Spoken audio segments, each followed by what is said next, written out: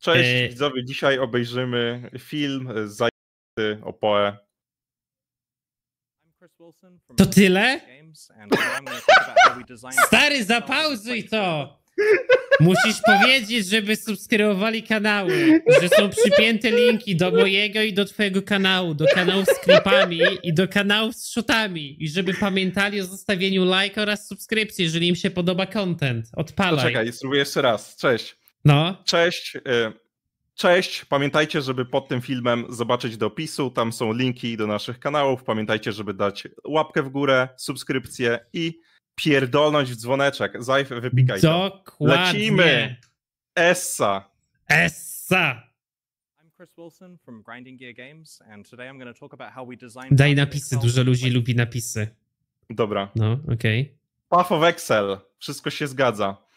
Czekaj, jeszcze dam, żeby było głośniej. A to O, jest czekaj. GDC.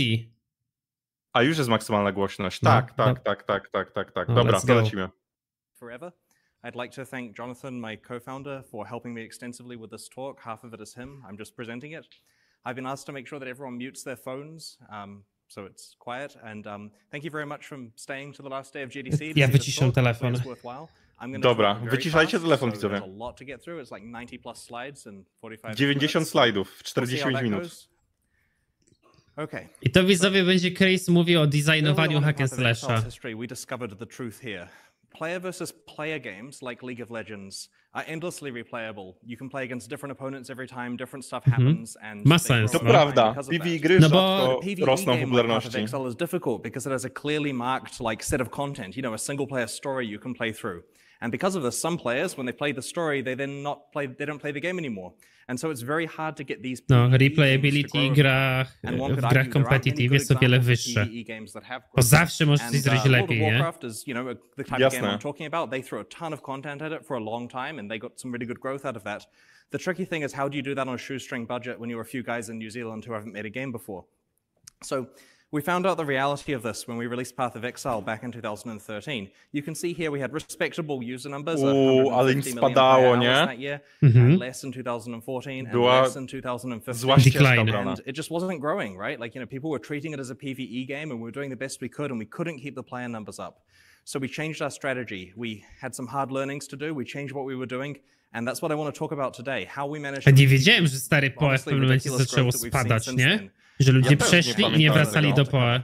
It's also worth noting that the graph here is showing only our PC Western English server. This is meant to be an apples to apples comparison. We're not cheating by throwing in like China and Xbox to make the graphs bigger. The, uh, the other realms, the other platforms are not included in this graph. Okej, Nie czyli tylko PC I'm going to briefly show you some footage Tak. of Path of Exile. This might be very loud, so we'll just turn it down if it is.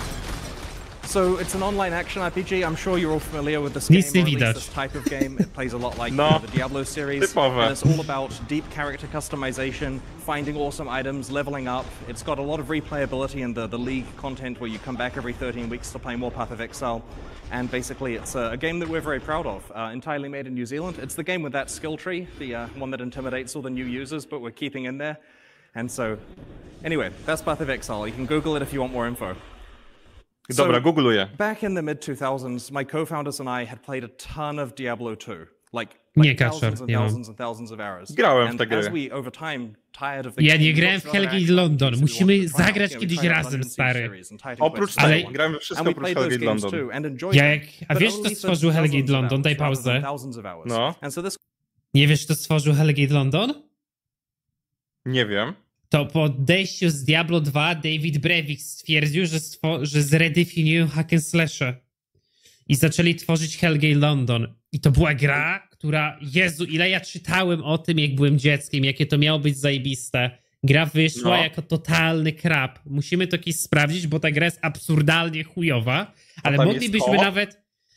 Właśnie nie wiem, ale musimy, moglibyśmy zrobić Piotrek serię wgrania w absurdalnie słabe hack and slashe i byśmy zagrali wtedy na przykład we Fratera. Tylko nie wiem, czy te gry mają koopa, ale jak mają koopa, to moglibyśmy to próbować pogarniać i byśmy wtedy dużo pogadali o, o tym, dlaczego dane hack and slashy są słabe, pomimo tego, że spełniają podstawowe w Diablo 4. Mnie piszą na czacie, żebyśmy Ale zagrali. jest taki filmek na YouTubie, który bardzo fajną serię ma właśnie. Yy, Is Finding Perfect? ARG. No, wiem. Tak, tak, tak, tak, tak. I on tam właśnie wszystko ogrywa. To widziałem, No. to pewnie widziałeś. Dobra, Kurwa, No. ale wiesz co, no bo jak sam miałbym grać we Fratera, to ja go nie przejdę, ja się zanudzę stary przy nim. A jakbyśmy zagrali razem, to byłbym w stanie dokończyć takie rzeczy. Moglibyśmy A jak to się w ogóle coś. pisze? Frapper? Frater, to jest polski Frater. hack and slash stary. Frater ARPG. To jest Stary, aż tak- ciężko to znaleźć. Kurde. Kolejny klon Diablo, tym razem polskich twórców Space Hacka. Akcja osadzona w XIX wieku. Jezu, to jest tak do dupy. No. Wygląda jak Grim Dawn, tylko że 15 lat wcześniej.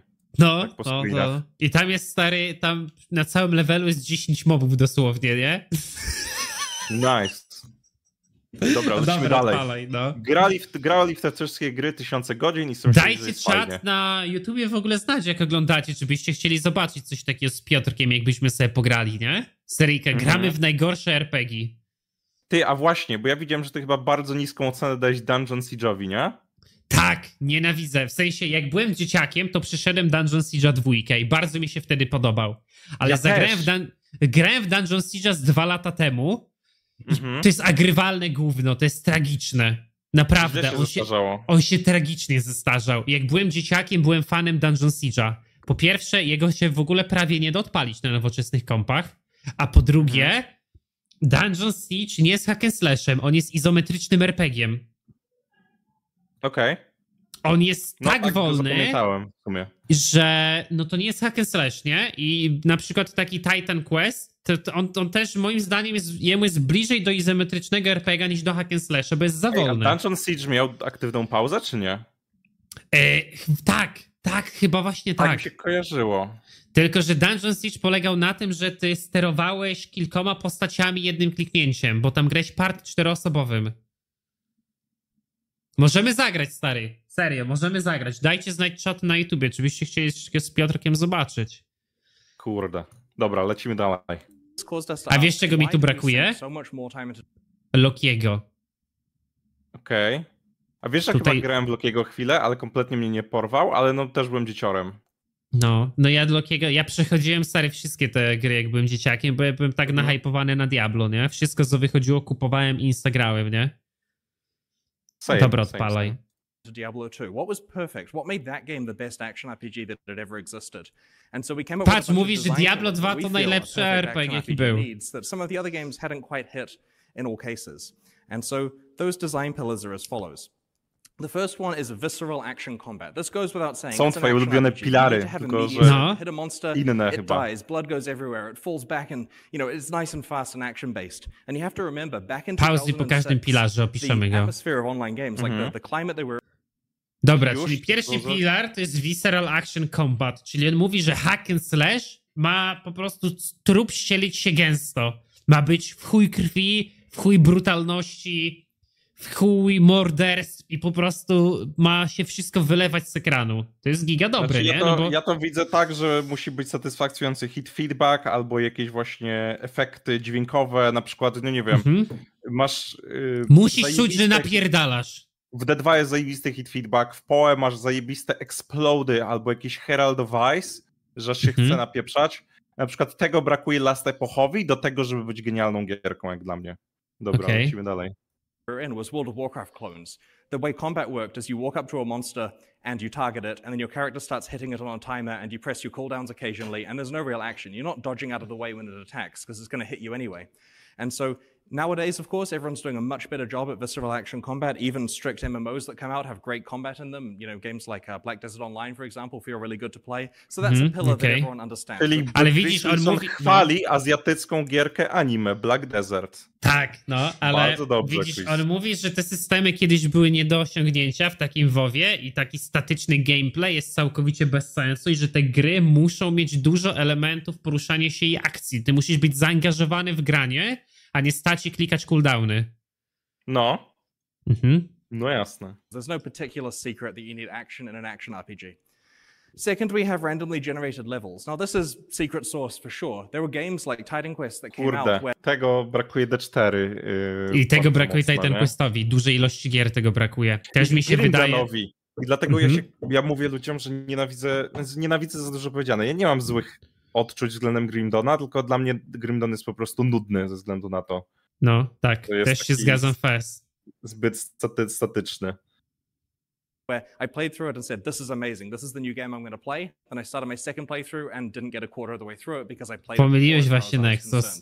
And so random levels dramatically help. Jest Nexus? Co tam? Siema Mhm. Nexus.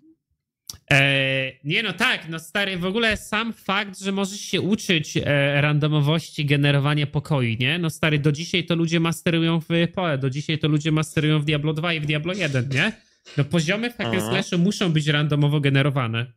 Wyobraź sobie, w sensie najważniejsze jest to, żeby mieć świadomość, że hack and podchodzą, pochodzą od gatunku roguelike'ów. Kurwa, taka była podstawa zrobienia Diablo 1. Na tym powstał ten gatunek. On miał, każdy gameplay miał być inny.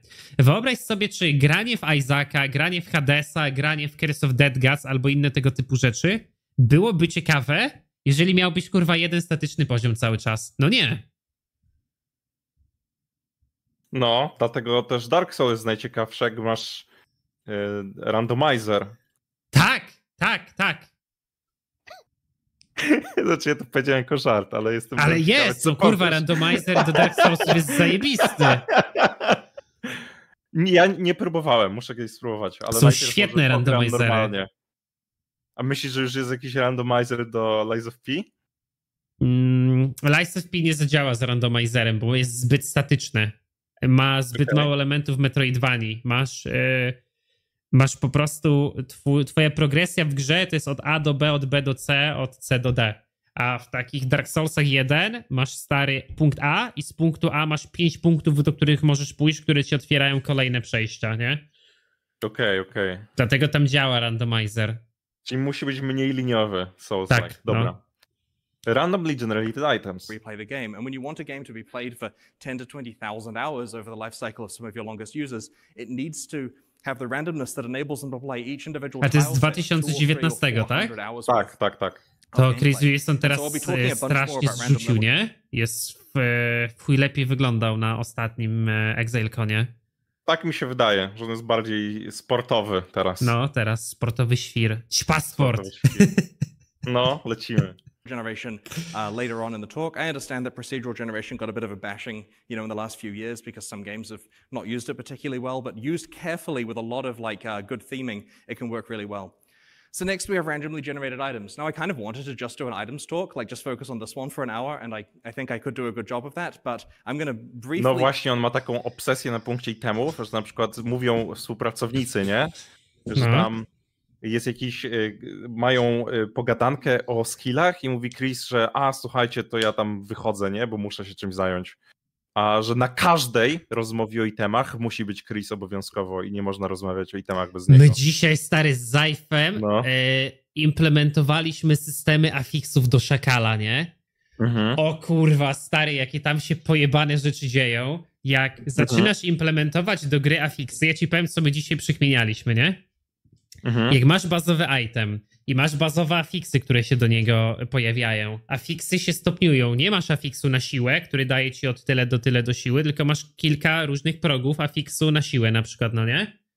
Tiering jakiś powiedzmy. No. I potem jak masz item level, który jest przypisany do poziomu moba, z którego to wypadło, i potem to wpływa na to, czy dany przedmiot jest wersją podstawową, nightmare'ową, czy hellową na przykład danego itemu, no nie? W PoE też tak jest, Mhm. nie? Że masz, e, nie wiem, tam z short sworda, potem będziesz miał, nie wiem, phantom blade'a i to będzie ten sam przedmiot, tylko z wyższymi bazowymi statami, nie? No tak, mnie to na przykład mega wkurwia, że masz jakiś na przykład Triumphant Lamellar i jakiś tam, nie wiem, Desert Lamellar, czy jak on się nazywa, ten sam stary, którego nienawidzę.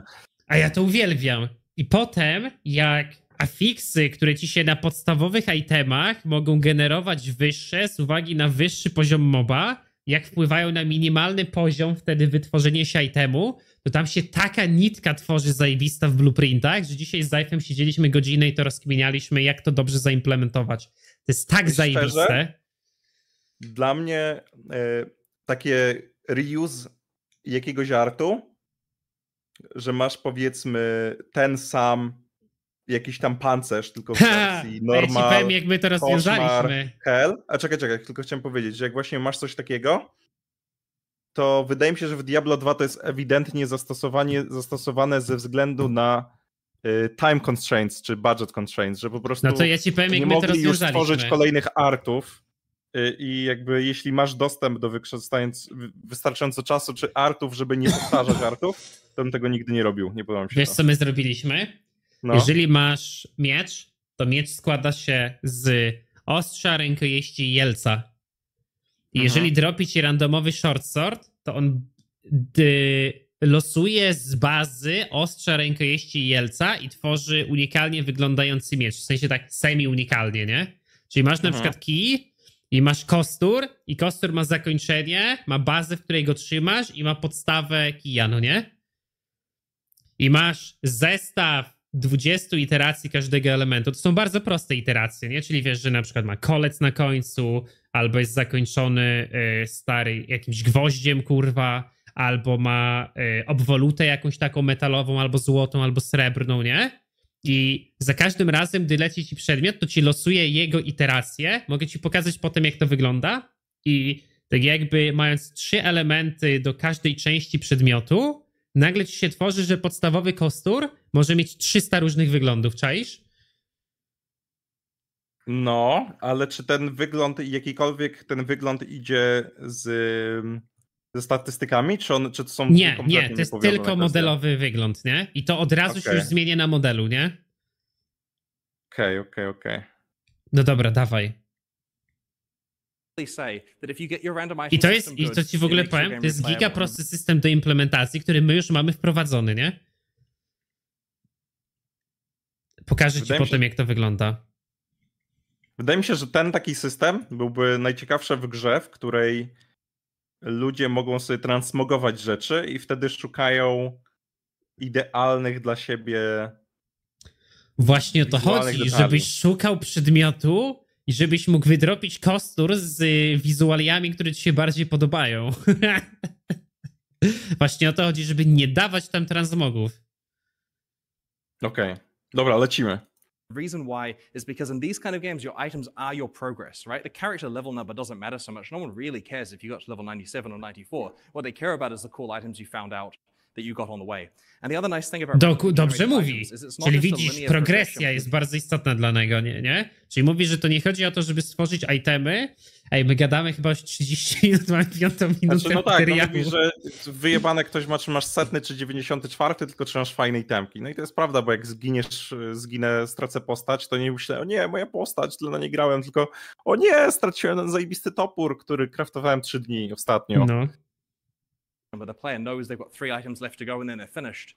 We're dealing with ones where the stats are all over the place. Who knows what the next best item is, how, how far it can be pushed. And because of that, you get this cool diminishing returns so that players really appreciate the small upgrades they find because it's a 1% power increase for their character, but it makes them so much better than more of their friends. The next one is a secure online economy. Now, this is one of the things that sounds obvious. Clearly, games need a secure online economy. But if it's obvious, Ej, właśnie, to jest, to jest w chuj dobrze mówi, bo to się wydaje oczywiste, że musi być ogarnięta ekonomia, ale w ilu grach Ale słyszę, że no. ktoś duplikuje itemy, że Kurwa, wczoraj o tym gadałem, Kappa stary. Każda No. jakaś online gierka, która ostatnio wychodzi, ma takie glicze, że fundamentalnie burzy ten filar.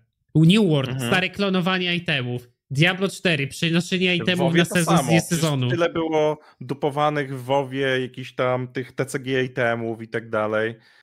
Nadal ekonomia jest zawalona masą zdupowanych itemów, mega rzadkich. No. To, to tutaj wydaje mi się, że to jest w chuj trudne do zrobienia, bardziej niż ludziom się wydaje, bo gdyby to było prostsze, to każda gra praktycznie nie miałaby z tym problemu. Ale wiesz co, no on tutaj mi się wydaje, że będzie też mówił w sporej mierze o e, trakowaniu jakiegokolwiek e, tego e, przedmiotów za, za pieniądze, no nie? To też trzeba trakować. Mała firma, która to w ogóle trakuje i, e, i próbuje jakoś zabezpieczyć to A RTM-a. zobaczymy, co powie. Czekaj, Does everyone mean? Now, this is one of the things that sounds obvious. Clearly, games need a secure online economy. But if it's obvious, why does everyone screw it up so badly? Like, the first thing is, so Yeah. many games these days just remove trade. They're like, oh, there's gold sellers, we can't deal with that, we're just going to O oh, get rid of kurwa, ale O, przed ja Diablo pierdolę, 4. jak to Blizzarda. To było przed Diablo 4. No, to nie widzieli deweloperzy. tak. The right direction. You need to have trade in your games that are about items because that way the items have some value. If you find an Ja item and you're the pierdolę, only person that can ever consume that, it's not Krzysztof No. Wilczyński wiedział, stary, i nic nie powiedział. On wiedział. On, On wie, wiedział. widzowie. really something that you've achieved that you can actually like feel good about having. It doesn't have any weight to it. If you get a game where you get an item that you could give to your friends if you wanted to, but you're not going to because it's your item, but you could give it to them, that's something you feel good about having. And the ability for the item to Dokładnie, actually no. To jest players zapauzuj, to jest giga istotne i ja na przykład e, bardzo lubię, w, w sensie ja na przykład jak w Diablo gram, to ja nie gram online, ponieważ no online jest zbyt szybką progresją, nie? Ta gra ma zbyt Mhm. niski sufit i no kurwa w dwa dni stary minmax jest wszystko, nie? Ale jak gram e, sobie solo self-founda i nagle gram czarodziejką i zdobywam item na nekromantę, to sobie myślę, ja pierdolę, ale zajebiście, jak zrobię nekromantę i mu założę ten przedmiot i się giga cieszy z przedmiotu nie dla swojej klasy. A teraz, Mhm. jeżeli te przedmioty by były soulbound jak w Diablo 4, no to co, dropi mi item, mówię, chujnia, no nie chcę go, nie? To tak samo idealnym przykładem jest też SSF w PoE. No ja większość czasu przestreamowałem SSF-a i jest masa takich momentów, że się cieszysz, że, Że ci coś wydropiło. wartościowego. No. Nawet jak wiesz, że tego nigdy nie użyjesz, to czujesz satysfakcję, bo wiesz, że dla kogoś to byłoby to bardzo wartościowe, że to jest rzadkie i ktoś by się w chuj cieszył i ktoś ci w chuj by zazdrościł, że to masz. Nie Mhm. musisz tego używać. Liczy się to uczucie. Nie, że ty masz, tylko że ktoś nie ma. Tak, że ty masz coś, co inni chcą. economy and representing your accomplishment. The second part of this is the secure part, which again sounds obvious, but so many games these days, often from console developers who aren't used to proper secure client author- server authoritative code, write their games in such a way that it's really easy to exploit them. There's dupe methods, there's various dumb stuff that goes on with the PC. Pamiętasz, jaki był błąd w New Worldzie? W New Worldzie w grze online był stary taki błąd, że jak miałeś grę w oknie i zaatakowałeś przeciwnika i złapałeś za to okno, tak że je miałeś przesuwać, to gra przestawała wysyłać jakiekolwiek pakiety do serwera i serwer przestawał wysyłać jakiekolwiek pakiety do twojego klienta gry. W efekcie, gdy zrobiłeś to atakując danego przeciwnika, to cały czas gra obliczała atak, który masz w niego wykonać, którego nie skończyłeś. I w momencie, gdy puściłeś to okno po 10 sekundach, to ci liczyło tak, jakbyś przez 10 sekund go atakował. Mogłeś one-shotować Okej. bossów, kurwa, w rajdach, ten stary, czaisz? No to zajebiście przejebane, no. To nie, nie wiedziałem o tym. Ale to to dużo tak- chyba. Bo myślałem, że powiesz o jakiejś metodzie na dupowanie itemów, a to rozumiem, że jeszcze kompletnie inny exploit. No. Okej, dobra, lecimy dalej. There's a lot of horror stories there, but the key the key takeaway is that there are very few games that actually respect items to the degree that we try to. We want to make sure this is an online economy where the items are sacrosanct. They're the progress of the players. They're going to matter. We don't invalidate them too quickly with new releases of content. And it's a big rant that you can tell I feel passionately about. But needless to say, get your items right. Anyway, the final one is deep character customization. This is merely the fact that if you have thousands and thousands of ways of playing your game, then when someone comes back to play it the second, third, fifth time, No. they have a different way that they can play it. And in some games where they just have a few simple character classes and it- it's pretty straightforward, you'll play it with the first class, then you'll play it with the second one, then the third. Dokładnie tak jest. Ja to ci powiem, weź zapauzuj. Ja mam stary tak, że bardzo często widzę, że gram w dobrą grę, jak gram sobie w gierkę i myślę, kurwa tak, ale żałuję, że zrobiłem woja, mogłem zrobić maga, nie? I sobie Mhm. myślę, o, już się nie mogę doczekać kolejnego playthroughsa, jak zagram magiem, nie? Bardzo często tak mam w CRPG-ach, yy, że zrobię daną klasę, dojdę do jakiegoś etapu gry i sobie myślę, kurwa, ja właśnie wbijam 10 level, jak byłbym magiem, tym teraz miał Firebola albo, nie wiem, burzę pocisków Izaka. I wtedy sobie myślę, o kurwa, już wiem, że na następnym playthroughie sobie zrobię maga i już się napalam na kolejny playthrough, nie? W Diablo Jak jak ty mówisz, grałem... to ja o Baldurze już myślę też, no. No, i jak grałem w Diablo, miałem stary dokładnie to samo, ale nie miałem tego w Diablo 4, bo ja wiedziałem, że okej, gram czarodziejką, zagram nekromantą i będę miał to samo. Spender, generator, cooldown, no nie, wiesz, y, defensywny i movement. I to jest giga istotne właśnie to, co on mówi. Y, Nie wiem, on stworzył jakąś grę, bo wychodzi na to, jakby się znał. Powinni go gdzieś zatrudnić. Ej, a jego przecież zatrudnili chyba. Chris Olsona, to Blizzard zatrudnił go. Widziałem. I ten. I e, ja sam to widzę po sobie i to jest na przykład coś, czego wiesz, gdzie mi brakuje w Sekiro. Sekiro No. jest nastawiony na jeden typ gameplayu i tam grasz zawsze, kurwa, tą samą bronią, tą samą postacią. Tam jest ten taki e, mały edytor postaci, w sensie edytor postaci, te upgrade'y postaci, ale to jest taki edytor jak z, tak, z typowego klikera akcji, no nie? Tam nie ma nic niesamowitego, tam nie możesz sobie zredefiniować postaci. A stary właśnie w takich kurwa klasycznych RPGach właśnie jak nie wiem, jak Elder Scrolls, jak Dark Souls, jak właśnie Diablosy, sam fakt, że ty możesz sobie odpalić jeszcze raz tą samą grę, tą samą linię fabularną i nagle zamiast stary bić wojownikiem, to strzelać łucznikiem albo kurwa napierdalać fireballami, to jest tak A to a propos, satysfakcjonujące. ty powiedziałeś o poczuciu, że coś straciłeś, że na przykład nie grasz daną klasą, nie? To wiesz co, ja tak czasami miałem z jakimiś soulsowymi gierkami, że na przykład grając Soulsy, ztrywializowałem sobie jakiegoś bossa, o którym ludzie mu mówili, że jest fajny i wymagający i trudny. No, To miałem takie poczucie, że żałuję, że nie grałem tego bossa innym buildem w takim razie, dlatego bo ominęło, ominęło mnie fajne wyzwanie. I pod tym kątem wydaje mi się, że gry takie jak Sekiro, takiej, e, No. gdzie jakby masz jednolite wyzwanie, e, Mhm. mają o tyle lepszą, e, pod tym kątem są lepsze. wiem, że każdy ma taki sam odbiór. Tak, że każdy ma taki sam odbiór. Ale ja to naprawiam w prosty sposób. Ja Mhm. na przykład dlatego w Souls-like zawsze na początek gram typowym buildem fizycznym, nie? I nie próbuję Mhm. niszczyć gry jakimś buildem magicznym ani ni- niczym takim, nie? Co mogłoby to strywializować. Znaczy, nawet wtedy w jakiś sposób możesz to sobie. Z... Myślę o. Bo ja na przykład w Elden Ringa grałem pod dwuręczny miecz i strasznie stagerowałem przeciwników, nie? No, Mam wrażenie, że bardzo trywializowało mi to przeciwników, którzy byli jakimiś humanoidami, bo dostawali cały czas ogromne stagery. nie, nie, nie, nie. Y- To błędne wrażenie masz, stary. Serio. Okej. To trywializowałbyś, jakbyś zagrał pod jakiś bleeding na samym początku, który był absurdalny, nie? Okej.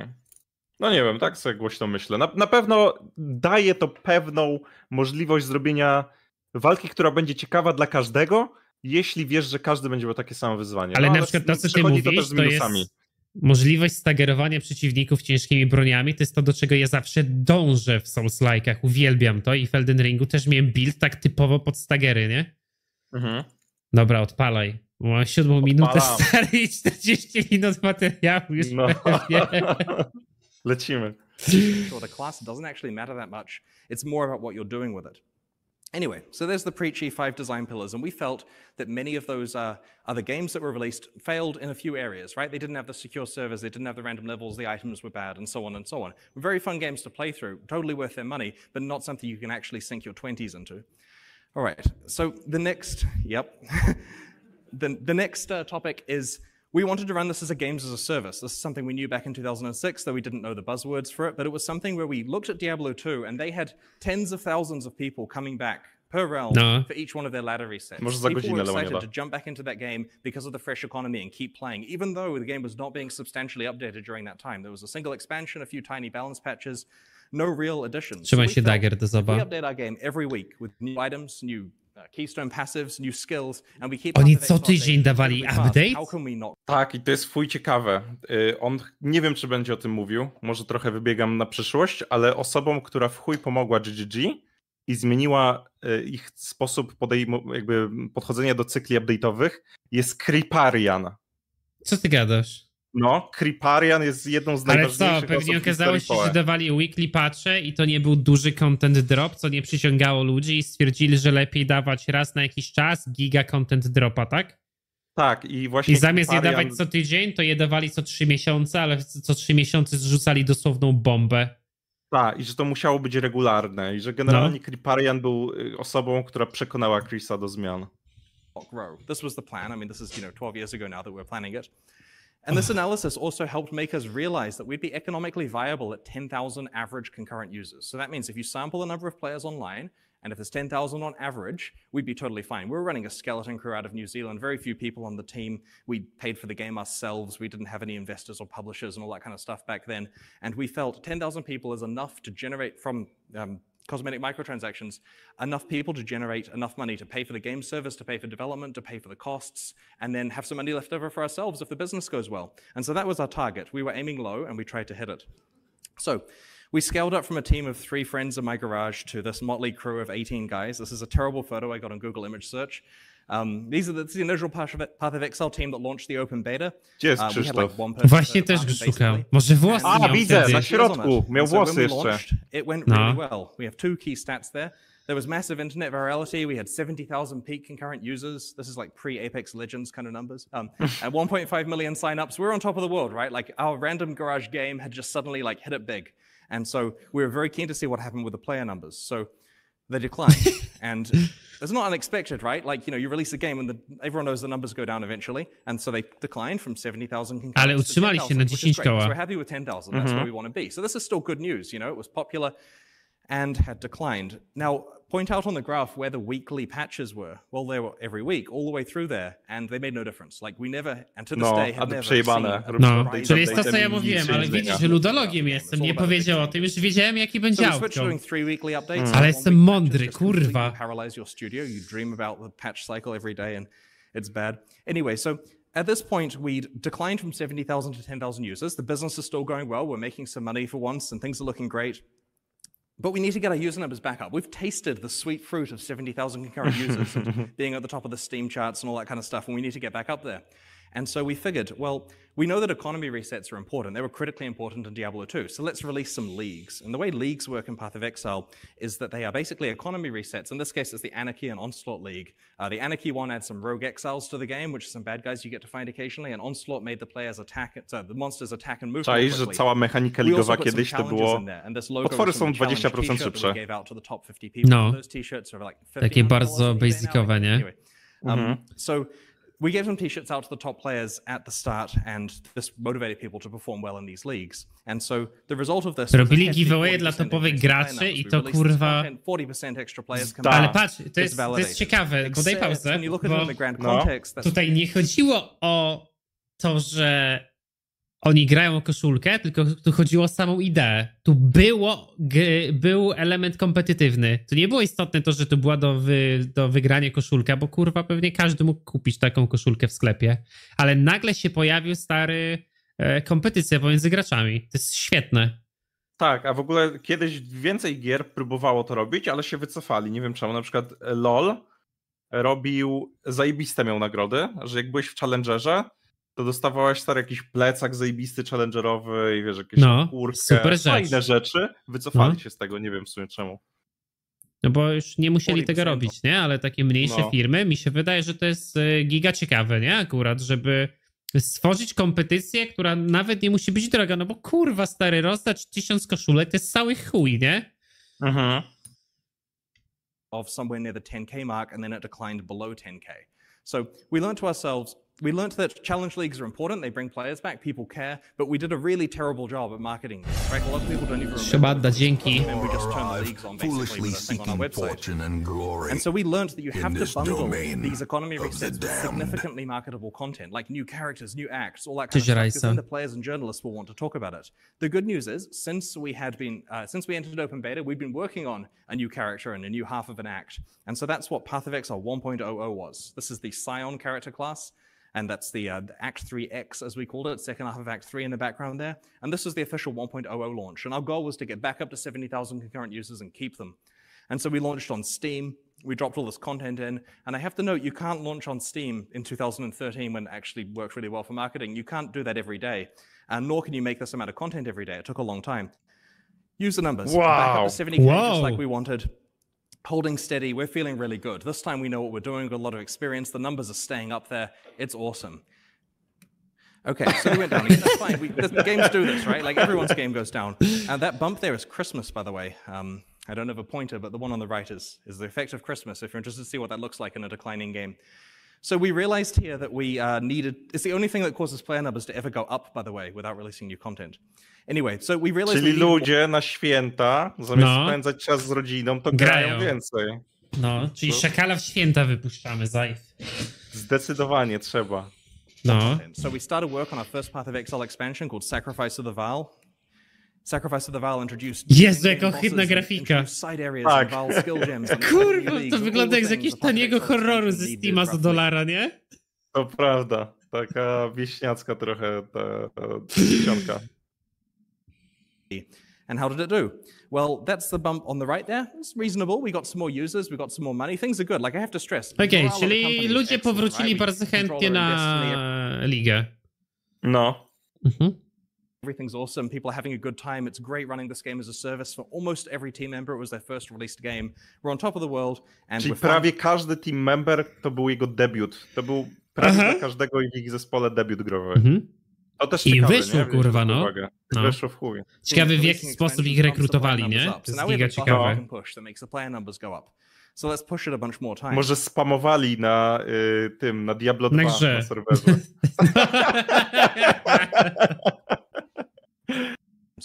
we decided to scope out the second expansion to be bigger because the key question is what is the cadence and size that we need to hit for these Path of Exile expansions, right? We're all scientists, we want to optimize this.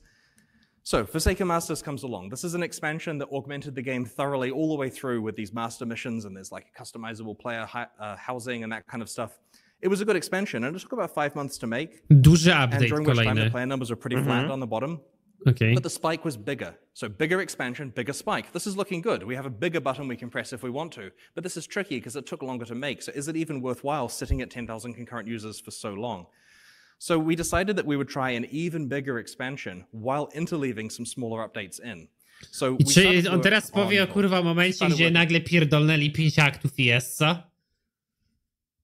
Mm, chyba jeszcze nie, bo to jest jeszcze jest etap tam 1-1, a te 6 aktów naraz dodali w 3-0. Okej. isn't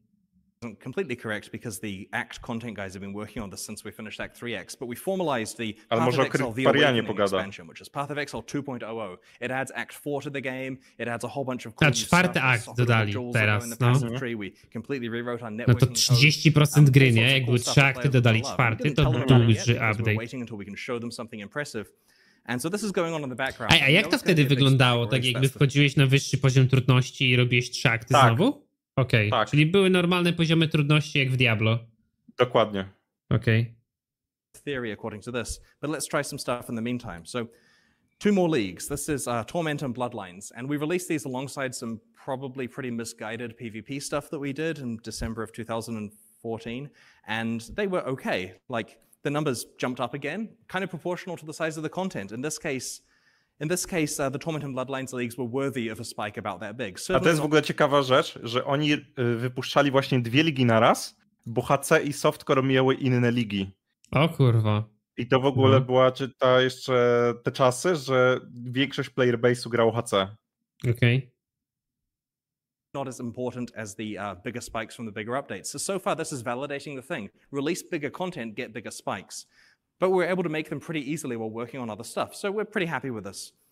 All right, next up is the one month league experiment, called being really desperate to get your players back and then calling it an experiment five years later mm. retroactively. So we decided to try some one month Czyli chcieli leagues to robić see what would takie. The idea ligi, żeby cały czas ludzie game modes on grali i cały take a lot of czas- time Jak im się nudziło, to żeby dostawali znowu nową ligę. Dokładnie. see No. what happens. Maybe one month is the ideal cadence for Path of Exile releases. So there's the two one month leagues at the end there. It's hard to tell what the second one is. And this is because your players quickly get inoculated to this kind of stuff. One month is not enough time to play Path of Exile and enjoy all the stuff, especially for the Okej, players. czyli replayability Path of Exile przy większości graczy było dłuższe niż jeden miesiąc. No. Ludzie po miesiącu nie chcieli wracać do gry, ale po dłuższym czasie byli mega chętni do niej wracać. Właśnie problem takich cyklów też jest taki, że już jak jesteś w połowie, już jak widzisz, że na przykład zostały dwa tygodnie, to już Mhm. jest ten moment, że czujesz, że nie masz po co grać. No. No. Mhm. did them. The second one was Dark Shrine, by the way, a fan favorite with like 10 people. I mean, you can see it at the bump there.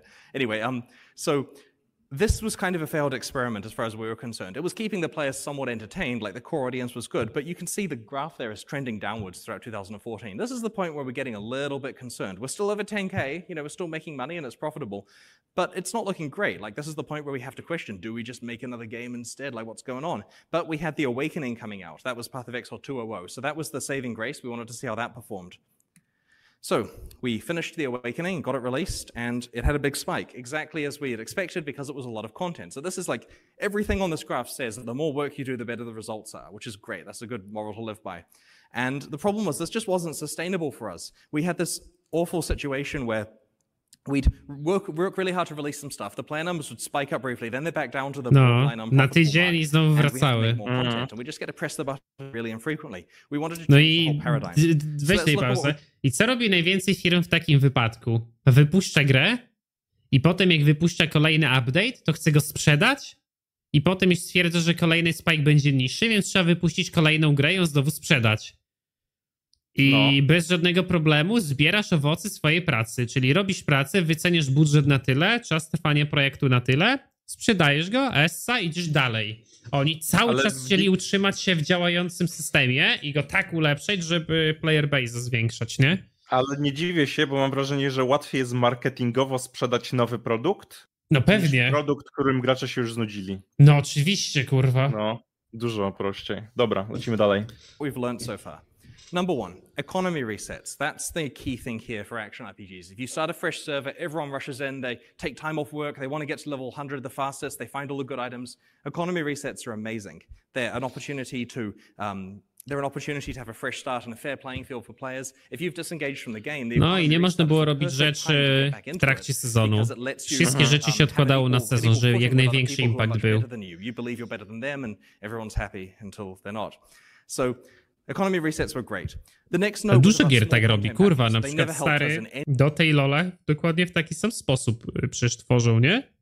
Dota dostaje, no, Dota dostaje chyba, nie wiem, cztery razy do roku dużego patcha balansującego i chyba dwa razy do roku dostaje patcha zmieniającego jakieś fundamenty, na przykład dodającego, e, nie wiem, kurwa, nowe przedmioty, a raz na rok chyba dodają nową postać, nie? I mają takie segmenty tworzenia. Właśnie problem z Dotą jest taki, że nic nie wiadomo, bo oni czasem zapowiadają No tak. rzeczy, że na przykład coś wyjdzie w październiku, mówią zobaczycie, to wyjdzie w październiku, a to wychodzi w styczniu. Mhm. Mówią, ej, w tym roku planujemy dodać pięć postaci i dodają jedną postać, yy, albo przez cały rok walą chuja. Jakby z Dotą to nic nie wiadomo, bo Valve jest dziwny. No ale nadal to No. robią, nie? A tak, a LOL właśnie to wychodzi na takiej zasadzie, że LOL ma taką z kolei e, podejście, że tam co 2-3 tygodnie jest patch zawsze. Chyba Mhm. co 3 tygodnie, może się mylę. E, Natomiast jest sezon, jest jakby. Chyba jest. Po, może LOLowcy mnie poprawią, ja nie jestem graczem LOLa. Wydaje mi się, że jest mid-season i w mid-sezonie są lekkie update'y, takie większe, tak średnie. I na początek nowego sezonu co rok jest taki giga update. No, tak Czyli napisali jest, na y, czacie u mnie.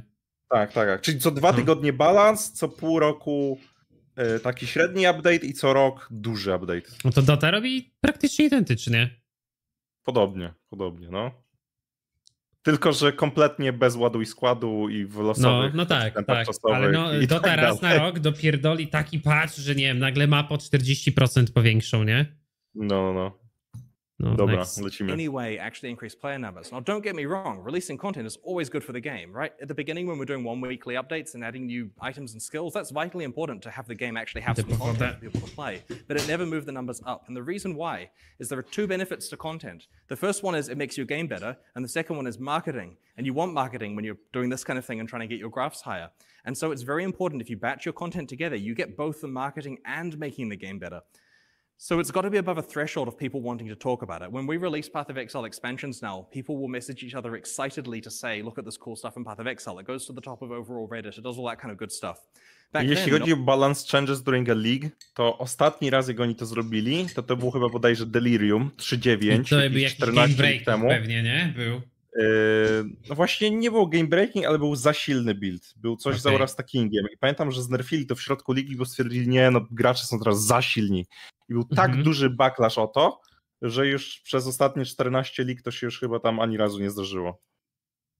No one was calling anyone when you release a single new skill gem, and journalists were not covering it, but they are now. Tak, the next thing is balance changes during a league. If you decide you want to fix something, you know, to make the game better, then the people who are doing that thing will be angry. And if you make something more powerful because it was too low, the people not doing that thing are angry because they missed out on choosing that character build. And so basically No, making any kind of mid-season tweaks is Kurwa, just, uh, są wszystkie very rzeczy, o negative których experience for a lot of gadaliśmy. players. A ty to oglądałeś, czy And nie? so we Już learned to Tak, push gadałem the z tak, Diablo. tak, tak, tak. between A ja nie, ja leagues. już to wiedziałem, That's ale the point jestem when players are mądry. choosing what character to play. They can see what's been reduced and what's been improved and choose to play based on that. The final story is one that I did not realize myself. I wish I was smart enough to think of this, but this actually came from Kriparian, the awesome streamer Oh, yes, who played a lot of Path of Exile at the time. And so Path and I were chatting on Skype, I like to say that we did um, occasionally. And he said to me, "You know what, Chris? I've got I've got a lesson for you that really helped me as my with my streaming." He said, "Every day I will." Wake up and I'll stream at a reliable time. I'm there right at that moment. And I'm going to stream until a predictable time. And then I'm going to work on my highlights video and I'm going to post that at a predictable time. And then I'm back tomorrow doing exactly the same thing. And I'm going to try not to take days off. I'm just going to stream at these times.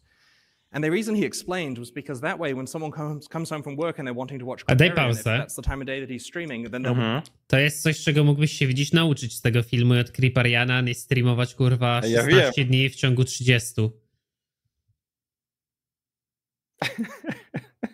No ty się nie śmiej, tylko się wytłumacz, nie? Widzisz, że jesteś bardzo niekonsekwentny. Kiedy wrzuciłeś poprze ostatni film na główny kanał na YouTubie?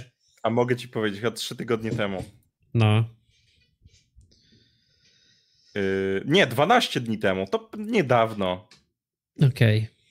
Dobra, to lecimy. Be able to watch him. And if they want to watch a video before they go to bed or whatever the timing is, it will be there. And the day that it's not there is the day they look on the internet and say, what will entertain me? What else is there in the world? And they'll find some other thing, maybe another streamer, maybe I to a ich TV show. Now odciągnie. that's the thing they're doing for entertainment. Mhm. And he Dokładnie. felt that his Dokładnie, to numbers tak dropped działa. Czekaj, co powiedziałeś?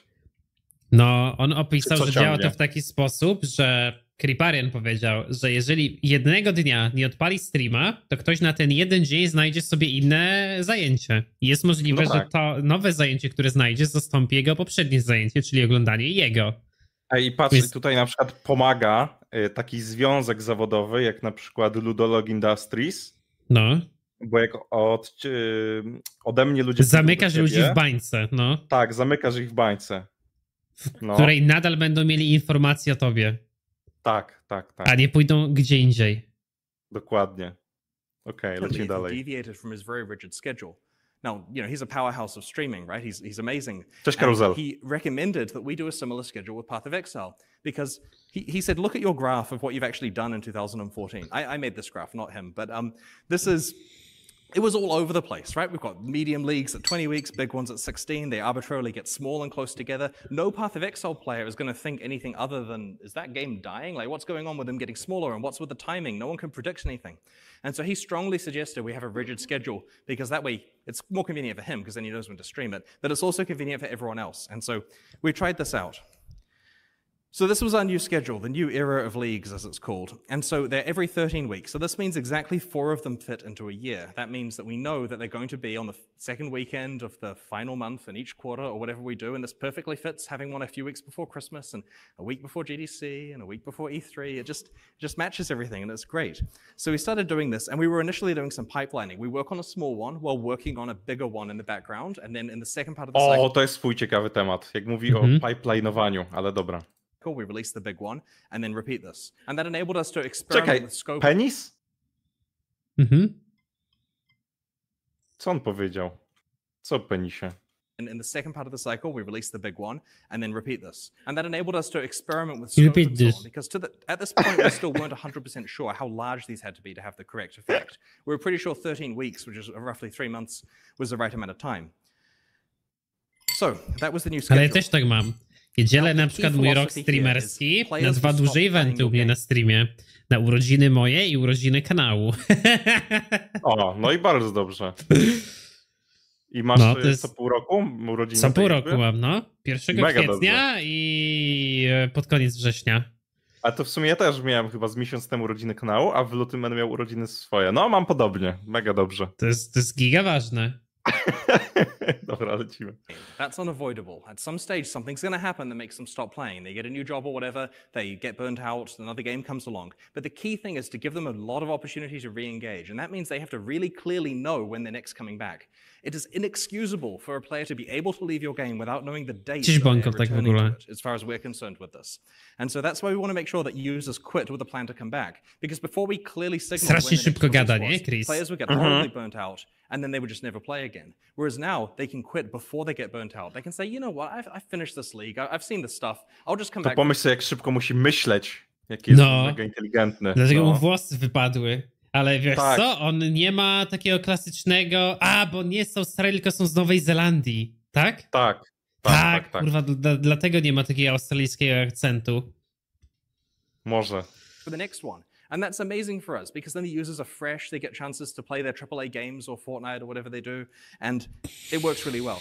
Also, we monetize very heavily towards the start of our leagues. That's where we introduce new cosmetic microtransactions and supporter packs and so on. So it honestly doesn't matter a lot if we lose users right at the end because they'll come back and monetize again at the beginning of the next league. So let's have a look at some results. So this tiny little bump at the bottom is the same size as roughly Forsaken Masters was. Just for I've rescaled this because it's foreshadowing. Anyway, so this was Talisman, right? Talisman was No. a great league. It was a decent size. If we could release Kurwa, Talisman every three niezły weeks, uh, every three months, I'd be pretty happy. No. And so Talisman went well, and that was one of the small ones in our cycle. All right, so the next one was the Ascendancy slash Parandus update. This was a bigger one because, as you saw, we're going small, big, small, big. So, so far, there's no unexpected results, right? Small, big, all good. Next one is a small one again because it was Prophecy, which wasn't as big. But you'll notice it was actually a little bit bigger than Talisman. So, this is how we rationalize. The numbers went down, but in a good way, right? Because they're bigger than the previous small one. And then, sure enough, we released our next big one. Nothing surprising. This is Atlas of Worlds and Essence League. And at this point, we decided we hated pipeline. Wiesz co, ja jestem ciekawy, jakby so wyglądał wykres sezonowy Diablo 4, jak będzie wyglądał. Bo on też będzie miał skoki, ale on będzie miał skoki coraz mniejsze i coraz szybsze spadki, kurwa, chyba. Możliwe. Jakbyś zobaczył wykres pierwszego sezonu, to on by się wzbił do góry, ale by chyba w ciągu 24 godzin spadł. On, on Bardzo szybko musiał spaść. Bardzo szybko na, YouTube- na Twitchu to było widać. no. E, Ja właśnie nie mogę się doczekać, aż pójdzie do tej kwestii z pipeliningiem, bo mi się wydaje, że to najwięcej tłumaczy. Kurwa, zobaczymy. And at this point, we decided we hated pipelining because we're getting so much attention split between these two leagues. We wanted to see what happens if we just focus on one thing at a time and do it well. So we said, if we could make one thing, what would it be? So we made Breach, and Breach is very popular, and it was our best release ever. So then we said, what, what are we going to make next? What, what about Legacy? So we made Legacy, best release ever. And at this point, the background process of making a new act that trundles along always in Path of Exile's background had Act 5 almost ready. That's the 300 expansion, the Fall of Oriath, and that was sitting in our back pocket ready for release, so we did. Takiej And grze teraz huge. mowa? Definitely our O best release Skyrimie. And we were feeling O really League good jak at w this stage. The Skyrimie. numbers are big. We just launched Tak. in China. We've just, um, you know, launched on Xbox. You know, this is just PC here, and it's already very high, dwarfing all our previous results. And so the question is, what would happen with our 13-week cycle going forward? Now we knew, like, and this happened, we knew that the next release would not be as tall as 300 because it was just a regular 13-week cycle. It wasn't an entire expansion that took 18 months and 80 people to put together. And so the War for the Atlas one was not as big as 300, but it was bigger than the previous expansion before that. And then Bestiary, and then Incursion, and it just keeps climbing. The 13 week cycle is working really well. Um, then we released Delve, which was great, and actually down a little. Ej, a wiesz co jest pojebane? Że ja rozmawiam o tym często z widzami, że właśnie są już wytresowani przez Chrisa. Wiesz, jak on nagle przedłużyli teraz te ligi w oczekiwaniu na PoE2, że nie trwają 13 No. tygodni, tylko tam powiedzmy 16-17, to już w tym momencie 13 tygodnia ludziom się budzi taki gigagłód, że mija Tak? 13 tygodni i są kurwa, Jak narkomani. tak jak narkomani, dosłownie, to jest mega śmieszne, ale dosłownie wytrenował ich Christopher. It, which we're not blaming on Delve because it's probably a lack of retention during incursion or something like that. And we were a little bit disappointed it was down. Like this is the point where you're questioning, you know, is this parabola finally like hit the top? But betrayal was really, really, really Whoa. big. And so Ale zobacz, że to zawsze stary wracało do tego samego miejsca. Zawsze, kurwa. Był giga No. spike w kontencie, ale to spadało do praktycznie, wiesz, bazowego Ale właśnie poziomu. to jest to, co powiedziało, że im to nie przeszkadza, bo monetyzacja zawsze przebiega przede Tutaj. wszystkim w pierwszych tygodniach No, ligi, no tak, tak, tak, tak, tak, tak, tak. Path of Exile history, you can see that we were clearly declining. There's no argument about that for the first few years, and then really clearly climbing. And so this is the brunt of what I'm now going to talk about for the rest of the talk, is what we do to actually make these and um, how we scope them out and how we deliver them fast enough. Okay. I'm going to go through the marketing page for Path of Exile Synthesis, which is our most recent release. And what I'm going to focus on specifically here is the way that we target specific groups of Path of Exile users. Ej, jak się Piotrek czujesz, jak tworzymy taki ludologiczny content na YouTubie? Ludzie, w sensie na YouTubie i na Twitchu. Ludzie na Twitchu, wiesz, oglądają jak baby sobie dupy malują, jak się moczą w basenie, jak grają w Lola, jakiś GTA RP, a my oglądamy, stary, wykłady. Wiesz co? Myślę, że to bardziej będzie coś takiego szlachetnego, jak sobie obejrzymy kiedyś na streamie wspólnie ten wykład z całkami i zobaczymy, czy coś zrozumieliśmy. Kurwa, tak, no, bez No, no, to, to no. co wczoraj To na oglądaliśmy. następny streamek. Ale normalnie ten, normalnie stary wykłady oglądamy chłopie w auli i komentujemy. My mamy taką essę ludologiczną chłopie. A chcecie już rękę podnieść do góry i zadać pytanie? Nie, dlatego mówię zapauzuj, nie? Dobra, to lecę dalej. And so we've identified a big set of categories of things that people enjoy. We've broken all the players into psychographics, and we're going to target each one with a specific slide. And the goal here is when they're reading through the page, they'll look at the features, they'll say, oh, this is cool, and then they'll find the thing that clicks with them. They'll find the reason they're playing, and they'll say, whoa, that's good. Okay, time Cześć, to tell my friends.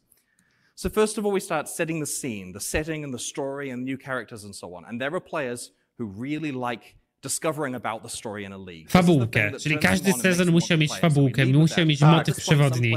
Nie Okay, mechanikę. Okay. explore przykład wampiry. I'm going to go and get No.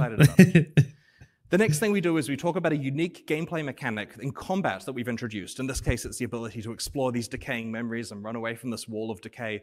And this is something that for many players, that changes completely how Path of Zaraz Exile zobaczę, plays, running away from the decay wall, they've got to use movement skills differently.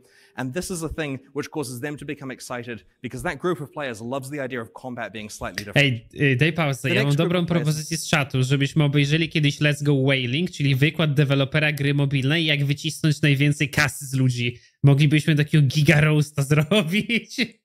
Tak. A wiesz, że prawdopodobnie też to oglądałem kiedyś? No, Ale no, to mówiłeś mi o tym, za. no. To jest dobry kontencik na bank. don't necessarily care about the story. They Nie, don't to nie będzie na. Spotify'u. They care about long-term meta progression within a league. The concept of building something up over Ale time. jesteśmy widzowie na of wykrzyknik Spotify. Exile, which are like games unto themselves. And this really appeals to types of players who want a meta layer on top of the regular gameplay.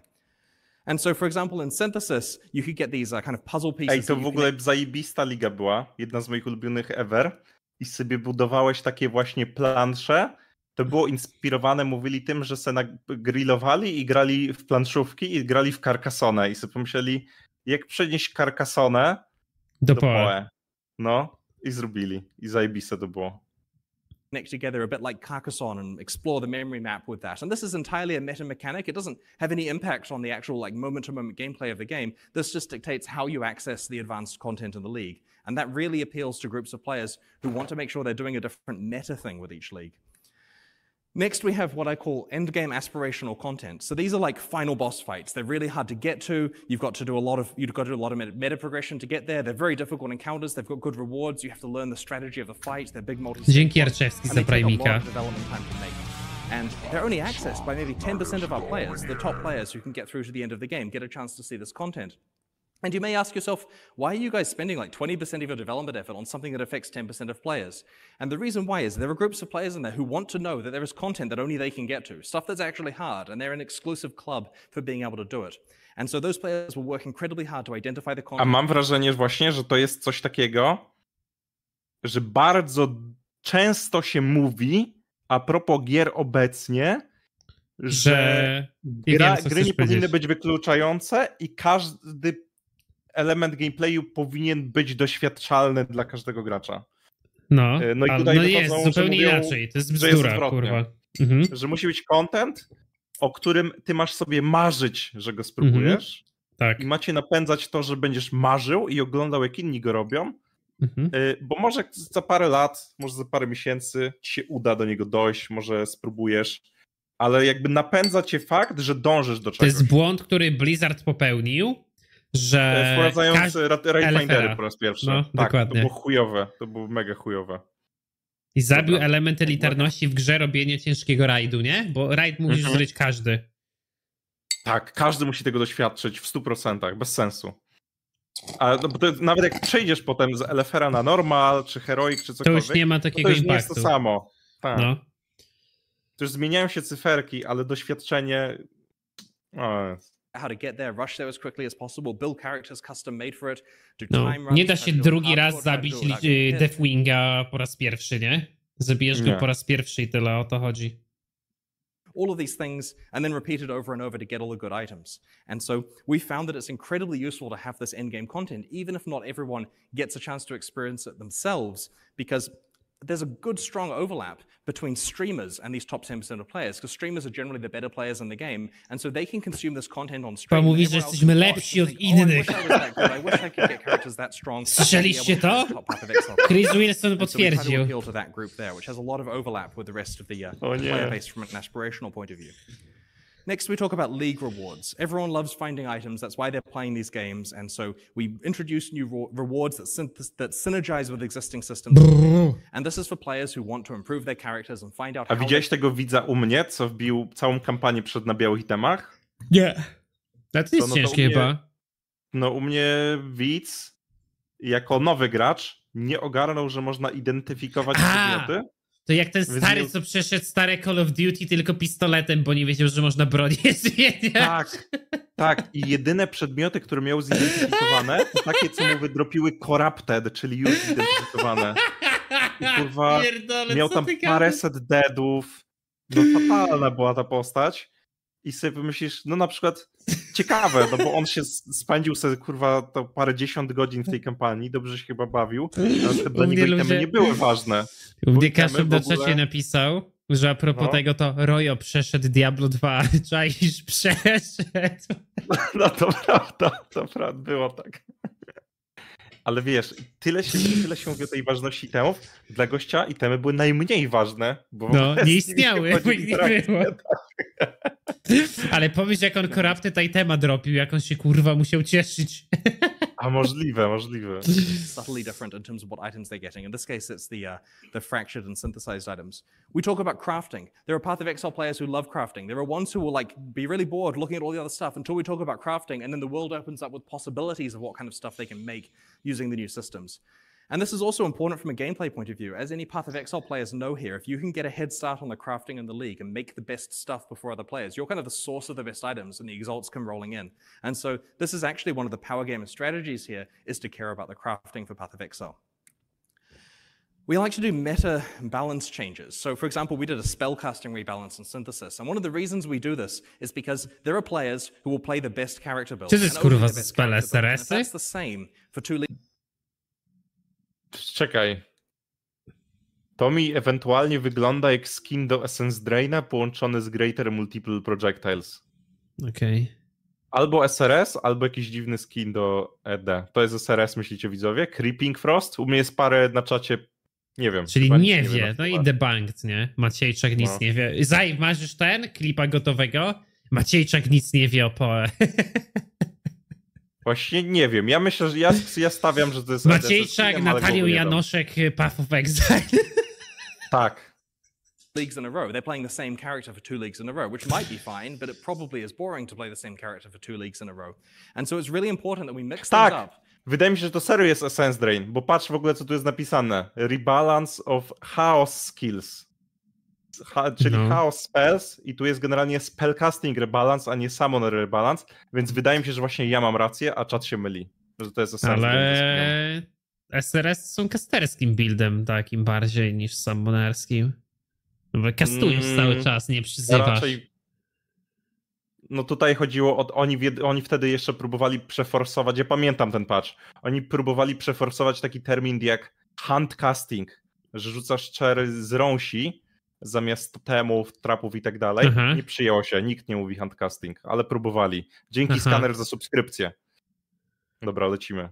I mean, hopefully not completely arbitrarily. We're trying to solve problems here. We're trying to take the things that are overpowered and make them a bit worse, and take the things. Potwierdzili. Arcane Essence Drain Effect. Kurwa, Zaif, jednak nie dodawaj tam w montażu, bo... Kurwa. Ja Nie, tak wytnij końcówkę. Dobra. haven't been used for a while and make them really exciting. But this is very important because it means that people will get a chance to see different aspects of Path of Exile um, from league to league. Now, an important thing here is it doesn't require developing new content. We're literally just rebalancing and so on. And that means we get to leverage all of Path of Exile's hundreds of existing skills and systems when creating, when, when, and kind of make pseudo content by bumping it up to be top tier. Having said that, it's very important that we actually do introduce new skills in order to appeal to players who are keen to play a new powerful character and want to make sure they're doing something snazzy that hasn't been released before. And so we shine a spotlight on various new skills and archetypes. Snazzy? Nie mam pojęcia. So ja bym powiedział, że negatywny przymiotnik. A poszukam. Snazzy to będzie jakiś nudzący. Odlotowy.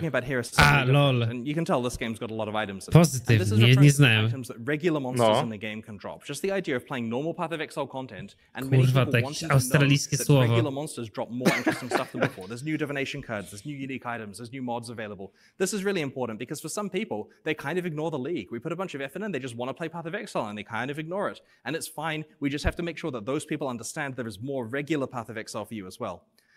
Now, there's plenty more sections in our marketing materials. Obviously, we try to sell them some stuff as well, um, but that's completely irrelevant. Kiedy gramy, Piotrek? Here's the uh, checklist of all the things. Ligę tą, jak to się nazywa? Nie Crucible, tylko jak się nazywa ten Rufles? tryb, co mało... No, kiedy Ruflesa gramy, jakieś duo. A wiesz, że wczoraj gadałem o Ruflesie i powiedziałem, że bym pograł Ruflesa i jakby było tak chociaż z 50 osób chętnych, żeby robić wspólną ligę. In-game trading zrób... na Ruflesie. Tak, i ktoś powiedział, ej, to zrób z Kiszakiem i ja powiedziałem, wiesz co powiedziałem, że... Że spierdala. Tylko, że problem jest taki, że żeby to miało sens, to fajnie byłoby pograć co najmniej tak za dwa tygodnie, Wiesz, jaki jest... ja zrobiłem ligę Rufles z widzami, to narzekali na Ruflesa, że jest nudny. No. Zagrali, mieliśmy chyba 50 osób, nie? Kilka razy no. na pewno zwiększaliśmy, ale ludzie narzekali na Ruflesa, że jest nudny. Mi się wydaje, że moglibyśmy sobie zrobić może bardziej streamerski taki challenge, na przykład i się zgadać, nie wiem, może wiesz, z kilkoma innymi streamerami i wtedy zagrać takiego Ruflesa i się powymieniać między sobą, by to mogło być ciekawe? Ja jestem za, ale właśnie. Bardziej mówię, niż że, z widzami, bo ludzie strasznie narzekali na Ruflesa. Że to byłoby najfajniejsze, gdyby pograć chociaż te dwa tygodnie, a ja powiedziałem, no, że Kiszak jest variety streamerem, więc jest duża szansa, że po prostu nie, pograł giga chętny, stary, ja giga tak? chętny na jakąś a taką seryjkę, no. Nie, nie, nie, nie, nie, tylko musimy dobry czas wybrać, nie? Stary Ruflesa okay. to jeszcze by Nadine chętnie zagrał. No to w listopadzie jakoś ja mogę. No, możemy się Bo... umówić na taką e, naszą wewnętrzną ligę Ruflesa, nie? No to coś można pokombinować. Ale na to Dina by to nie super. sądzę, żebyś naciągnął na więcej niż dwa dni gry, no. Kurwa, damy radę, stary. Dobra, lecimy dalej. For Path of Exile, we find it important to push to the players.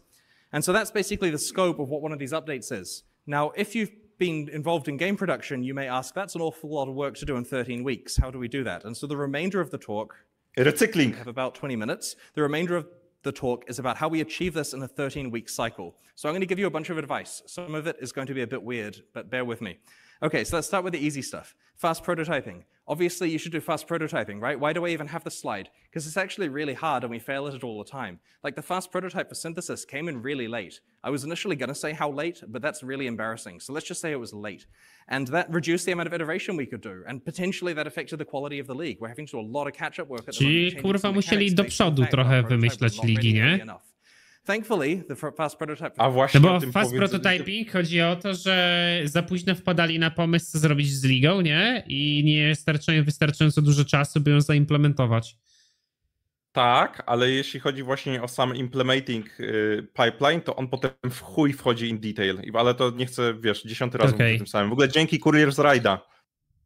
Courier has already been completed and thrown away once and completed again, and that's a really good process. And so Try to do this right.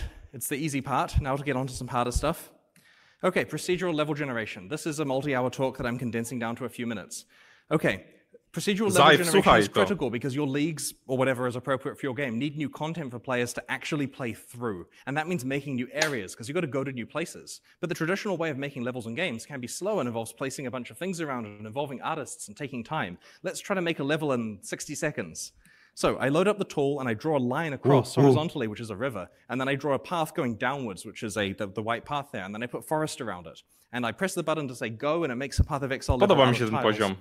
Okej. And there's a river and a path intersecting, and the engine knows it can put a bridge there and all this fancy stuff. And I click go again, and I get a completely different one, and go again. Drugi akt different. zrobił So właśnie. By default, here, it's Mapę. producing random levels. Now, these are relatively similar because it's just a relatively simple one, but I'll make it more complicated. So I can then play this in game, and sure enough, Dokładnie, there's no. bridge over the river, Ale and it kurwa works with the ludolość forest, ze with the mnie. water flow and does all the fancy Znaczy- foam generation. All this Southern cool stuff just Forest. happens because we've got mature tools for that now. Znaczy, no tak, na lewo And so I say, okay, na so this is zachód a od forest. I need some stuff to ale fill it with. So. I make a set of tiles that can go in there, some Forest. trees and some fallen over trees, nie some bandit camps, some tents, and some rocks, and it puts them throughout the level. And then I generate again and get a different set of stuff, and again and get a different one. And the player story is subtly different each Cześć, time. Kalima. The Śpi crossing is in a different place, the bandit camp is in a different place. it's Kalima. There at all. And you have to bear in mind that this was like literally just a cross in the editor, like the simplest possible graph that took Ale pojebane, kurwa, to do So, szekala here's a nam real się level giga from przyda. Path of Exile. This is the river crossings that's to the left of Act 2 town. And the way that this all works is instead of doing levels like this, where you just make one and hope it's random enough, Mówisz, że ten tok się przyda? No, Ten giga. aspekt? No, bo Okej. właśnie jesteśmy na etapie tworzenia randomowej generacji pokoi, nie? Mhm. To możliwe, że mają bardziej rozbudowane toki na ten temat na, z ExileConów, wiesz? No, To jakbyście chcieli rzucić okiem. Make like 20 different variations. You have two rivers, you have five rivers, you have no rivers. You have it so that there's um, multiple roads or a fork in the road. You have all of these crazy things. And then when the game is generating the level, it picks which topology to use first, and then it does the random generation within it. And so you've got two levels of randomness there. And so this is an example topology from the river crossings. And here's some examples of what it can make. So there are many ways across the rivers. There's paths, there's broken paths, there's little stones, there are fallen logs, and so on. You've got various boss encounters in here. You've got different exits going off into different levels, waterfalls, that kind of stuff. Here's a completely different variation of it that's generated. Um, in this case, there's like a different user story as they play through and get different bosses and so on. This one here has like an island in the middle with a big, like, thick copse of trees there. And so this area feels different every time you play and did not take the artists very long to do. For synthesis, we said, oh, we need like 50 or 60 of these areas made that the players can play through. And we kind of need them right now, like today preferably, because we have to actually like use them to put the monsters in and playtest. And so they took minutes to make each one. I think it was like 20 minutes. But the point is they did it pretty fast. And that's something we can do because of a procedural level generation. No, to jest w chuj, w chuj dobre, nie? Że mówią, że na Mhm. mechanikę ligową musieli zbudować około tam 60 wariantów planszy i zeszło im jedyne 20 minut na planszę mniej więcej, jak już zrobili sobie schemat. No, No. w chuj dobrze to brzmi. generation tool suite that we've made. And I should note, all of Path of Exile's tools and engine are entirely custom. Not something I necessarily recommend, but it's great when you've got it. Okay, so no now w Unrealu jest system do generowania poziomów. Kurwa, nie będę się nazywa, zaraz ci Zajw może napiszę. Zajw, jak on się nazywa? I on to robi, taki kurwa level, jak... I tam normalnie sobie wprowadzasz, ile chcesz pokoi, jaką wielkości ma być ta, ile ma być 6, tego, tego typu rzeczy i to generuje ci już w kilka sekund, nie? No i im to zajmowało 20 minut, bo tu mówimy o rzeczach sprzed kurwa 10 lat i o ich Mhm. własnym silniku, nie? No, no, no, no. Ale obecnie jest w chuj narzędzi do takiej generacji. Znaczy, to nie, nie do końca zrozumiałem, czy oni tam aby nie robili jeszcze jakichś tweaków pomiędzy tymi, czy to było sama genero- samo generowanie im tyle zajęło, a nie wiem w sumie. Dobra, lecę dalej. way. It understands about your league mechanics. So this is Abyss. Ty, This a is właśnie to rozjebało mi mózg właśnie parę lat temu, jak dodali Abyssa, że na każdej mapce możesz mieć tego Abyssa i on świetnie wchodzi w interakcję, nie? Że jakby, no, i dla mnie to było insane, że to wszędzie może ci się zespałnić i zmienia podłoże, tak jakby. is good in Okay. another way. It understands about your league mechanics. So this is Abyss. This is where when you're playing through the area, there's a crack that you can follow and monsters come out of it. And so when we're generating the level, the generator can place the Abyss cracks throughout the level in an interesting way, aware of the context of where players can go. So that's an outdoors one. This is an indoors one. It will follow Ale the paths and go through the ta doorways and along the little narrow No. walkways and all that kind of stuff. Because it Czemuś tego understands nie about ma? the walkability, because it Jest. just generated Jak to się kurwa nazywa? Abyss. I gdzie to jest kurwa? No wszędzie możesz mieć Abyss. W życiu tego nie widziałem, mam 200 godzin w połę kurwa. Może zapomniałeś, na pewno miałeś Abyss. Może zapomniałeś. Ale no na każdej mapie możesz mieć i to jest właśnie zajebiście wygląda. Wygląda, że się ziemia rozchodzi. I masz takie dziury, niezależnie od terenu. Dobra. No, dawaj. And so, because of this, Abyss is a fun mechanic. It's different every time you play it because of the level that it's present in. It's a completely different story. And this kind of leads on to the next topic. And this is a topic about multiple overlapping axes of randomness. Now, to give an example, imagine you're a Path of Exile designer. Your job is to make encounters like fights. So you're sitting at your desk, and I come over and say, We need lots of these. We have an encounter that needs a ton of variety because we expect the players to play it like 500 times. And you say, Wait, wow, I can't make 500 variations of this. So you, you try, and you have 10 encounter types to start with. You've got the one where the monsters drop down from the ceiling, you've got the one where they crawl up the walls, you've got the one where they teleport in, you've got the one where they're in a big sphere that breaks open. You do as many encounters as you can do, and you hit about 10. And then I say, look, 10 isn't enough. I said 500 retries of this. so you make another 10, and now they're getting diminishing returns, and it's really hard to think of them. So that's the point where we add another axis. In this case, it's like, okay, well, all of that was with spiders. Let's make zombie versions. So you make it so it can spawn zombies, and then bats, and so on and so on. So that's another axis. And then we're like, okay, random bosses. Randomly, some of these are going to be bosses. So sure enough, the fight's no different because you get lucky or unlucky with how many bosses there are. Then we're going to add some random mods to the fight, and so on and so on. So each axis increases it, and it gets to the point where you've done five times the work, but got 10,000 times the amount of randomness out, versus just making 50 encounters, and then it gets boring once they've played all 50, which is the Prophecy League. Okay. so I'm going to show you a video of Breach, which is an example of a league with lots of these axes. So you tag this spooky hand, and it opens up a breach, which is kind of like a parallel dimension where you fight these monsters, and if you kill them fast enough, the radius keeps um, increasing, and it gets harder and harder to keep it open until it collapses. Now, there are good and bad things that can occur. This is a great breach because it's outdoors, and so you got a big circle, you can kill a lot of monsters. This is an indoors one where you got super unlucky and it's up against the side of the level. And that's a bad breach because now it's harder to fight all the monsters. And that's okay because I'll look forward to the next good one. But there's way more axes. The monster density can vary. You can get these like special chests that spawn um, very rarely within it. So you're lucky like there's some chests up here that are like clasp hands that you can tag.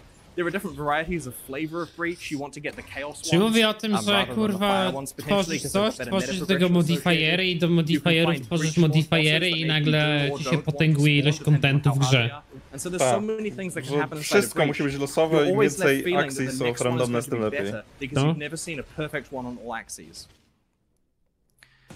you've So let's talk about asset reuse. This is another obvious thing. If you're making a game like this as a games as a service model where you want to make content really quickly, then it's important to reuse your assets where you can. It would be criminal to make entirely new assets. The artists would be really, really, really put to a lot of work.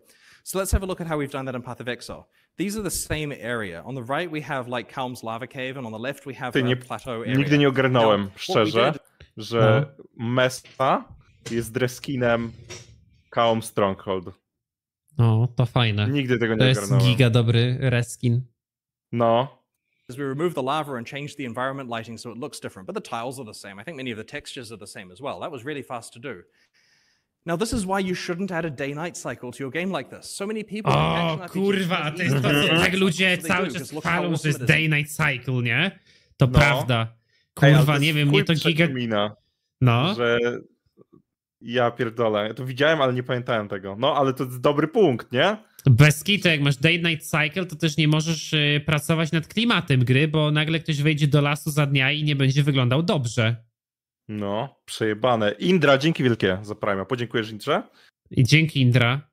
Dzięki, dzięki.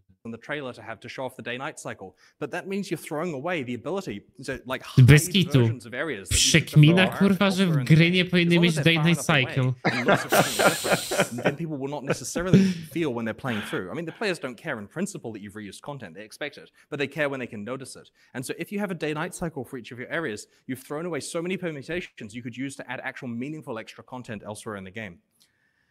Here's another area where we took the uh, icy um, glacier Ej, tego area też nie ogarnąłem. Że No ale to ma teksturę inną jest- narzuconą. no, jakiś taki skinek, nie wiem, tak jakby, No tekstura jest inna. no... Tr- czy troluje? Nie, no nie ogarnąłem, że Iceberg jest reskinem Foothillsów. This is the ascent area, and we made it yellow and took the snow away, and now we've got a desert. And so we do this extensively throughout the game. Jaki jest problem dobrze 6 zdjęć through 10 wyglądające lokacje za dnia i nocy? Chodzi o to, że tworzysz lokację i potem robisz recycling danej lokacji i na jej podstawie tworzysz inną lokację, zmieniając jej światło, cieni, e, natężenie, nie, jakichś efektów pokroju lawy i innych rzeczy. I wtedy, gdy będziesz miał cykl dnia i nocy, to będzie to giga łatwe do zauważenia, że to jest zrecyklowana ta sama lokacja. together in a way that's very hard to tell, but was actually you know, very, very cost effective at making content. Here's another example with monsters. So on the Mhm. left here, you can see a green flying monster, you can see a spiker and a bone wheel skeleton. And at the top, you can see a random portal frame made of metal. Now, we had a sudden and urgent need for a pile of synthesis monsters that looked cool. So we said, that metal stuff looks cool, let's take that, and let's put it on the rigs of the monsters on the left.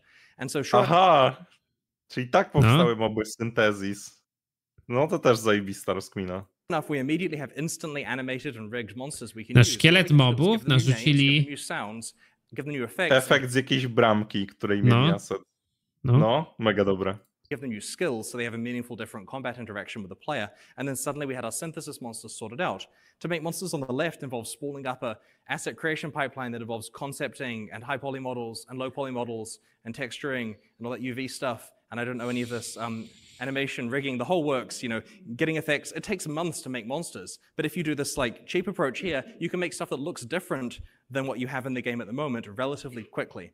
And we often have to make monsters with days of notice when we're putting these leagues together. So techniques like this really help. And the best thing is these synthesis monsters don't feel like reskins. They've got their own mm-hmm. new skills and stuff. No. It isn't just a blue version of the flying thing. It's like a cool metal version of the flying thing. okay, so now we're going to talk about content reuse, which is different than asset reuse, because I'm talking about taking like a wholesale block of content. Ej, daj pauzę, musi się So this is Dobra. Taki gracz, a nie ma butelki, nie? Żeby się na szybko siknąć, widzowie. Trochę wstyd. Kurde, ale taki Krzysztof Wilczyński z Chrubieszowa to jest kopalnia wiedzy, nie? Każde słowo można spijać jak śmietankę. Jak y, piankę taką pyszną, smakowitą. Mm, coś niesamowitego. Co roku powinien być taki talk i update'owany o nową wiedzę. Opił się Tosika, racja, że dzisiaj dużo drineczków chyba walił Kiszak. No, no, no, było coś takiego.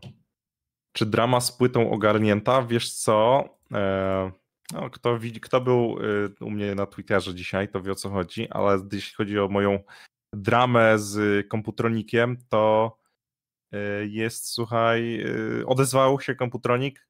Mamy pogadać jutro, mają się do mnie odezwać jutro e, jak tam wrócą do nich ludzie do biura i zobaczymy, czy, czy się Dobra, wyjaśni dawaj. sprawa, czy nie.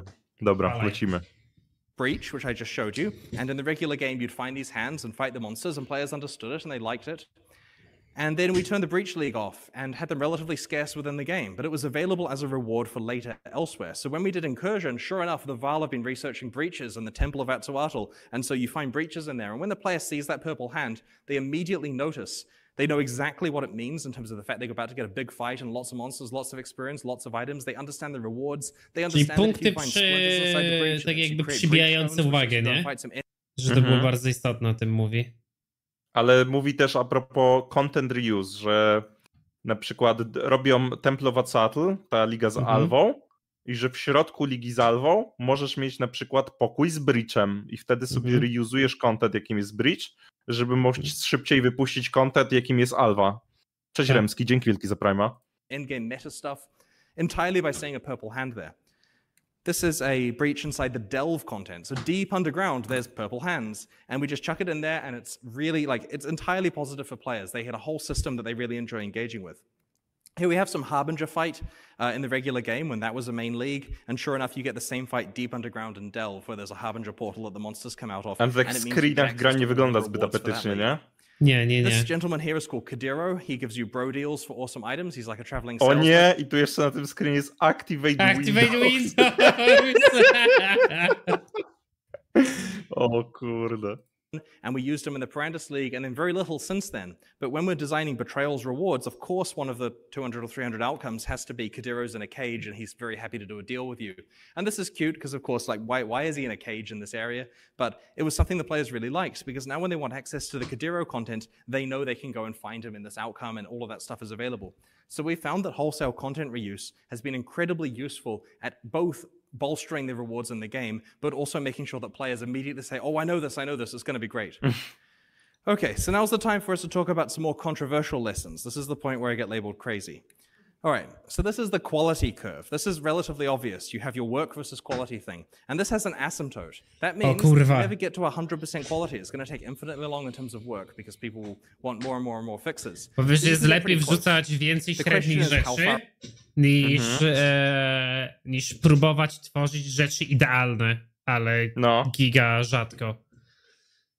along the curve do you go? And when you're left Ja with to, 13 kurwa, weeks, you wszędzie to tak działa, mam wrażenie. philosophy, and you have to pick somewhere. So, for example, here, for 50% of the effort, you get 90% of the quality. Now, I'm not saying to release games that are only 90% quality, but the way you do it is by putting the quality in the right places. Polish the things that matter, Polish. and don't care No. about the stuff that doesn't matter. O, o Polsce Now, this means that you have to make some very Fajnie. difficult decisions about what things to pay attention to, and therefore the best skill for a To developer to giga dobre, the is kurwa, tak. to know what actually matters. To jest Relatively few świetne. people on the Path of Exile mhm. team are able to actually gauge that as accurately as we would like. And so it's very important that we do O focus everyone's kurwa, i to jest na przykład really, really stary, co gdzie Um, Diablo 4 zawiodło, nie? Na przykład Bo za, za bardzo próbowali być dobrzy, to próbujesz powiedzieć. Ech, tak. Oni za dużo czasu poświęcili na niektóre elementy w momencie, gdy mieli ważne elementy nieskończone. I no, na przykład mogli. Kurwa, ja wiem, że jak dużo osób by się oburzyło, jakby tak było, ale kurwa, Diablo 4 by było lepsze, jakby wypierdolili całą fabułę i zamiast pracować nad fabułą, by przemyśleli systemy mechaniczne. No w 100% się zgadzam. Natomiast fabułki to... Yy, kurwa, sam fakt, że większość przeciwników to są przeciwnicy, z którymi walczysz tylko raz w kampanii. Jakiś ten Astaroth, No. Yy, kurde, no bez sensu. W grze, w której liczysz na replayability, dodajesz tak dużo kontentu, który jest single playthrough only, bez sensu. No, to prawda. for the actual content we're releasing. And this is also why we hire our player base to be in the QA team and dev team, because Path of Exile players will understand what's important because they've played through it a whole bunch and know how they interact with it. All right, pipelining. We O! tried it. We really Mój ulubiony ten segment, No, dawaj. się doczekałem.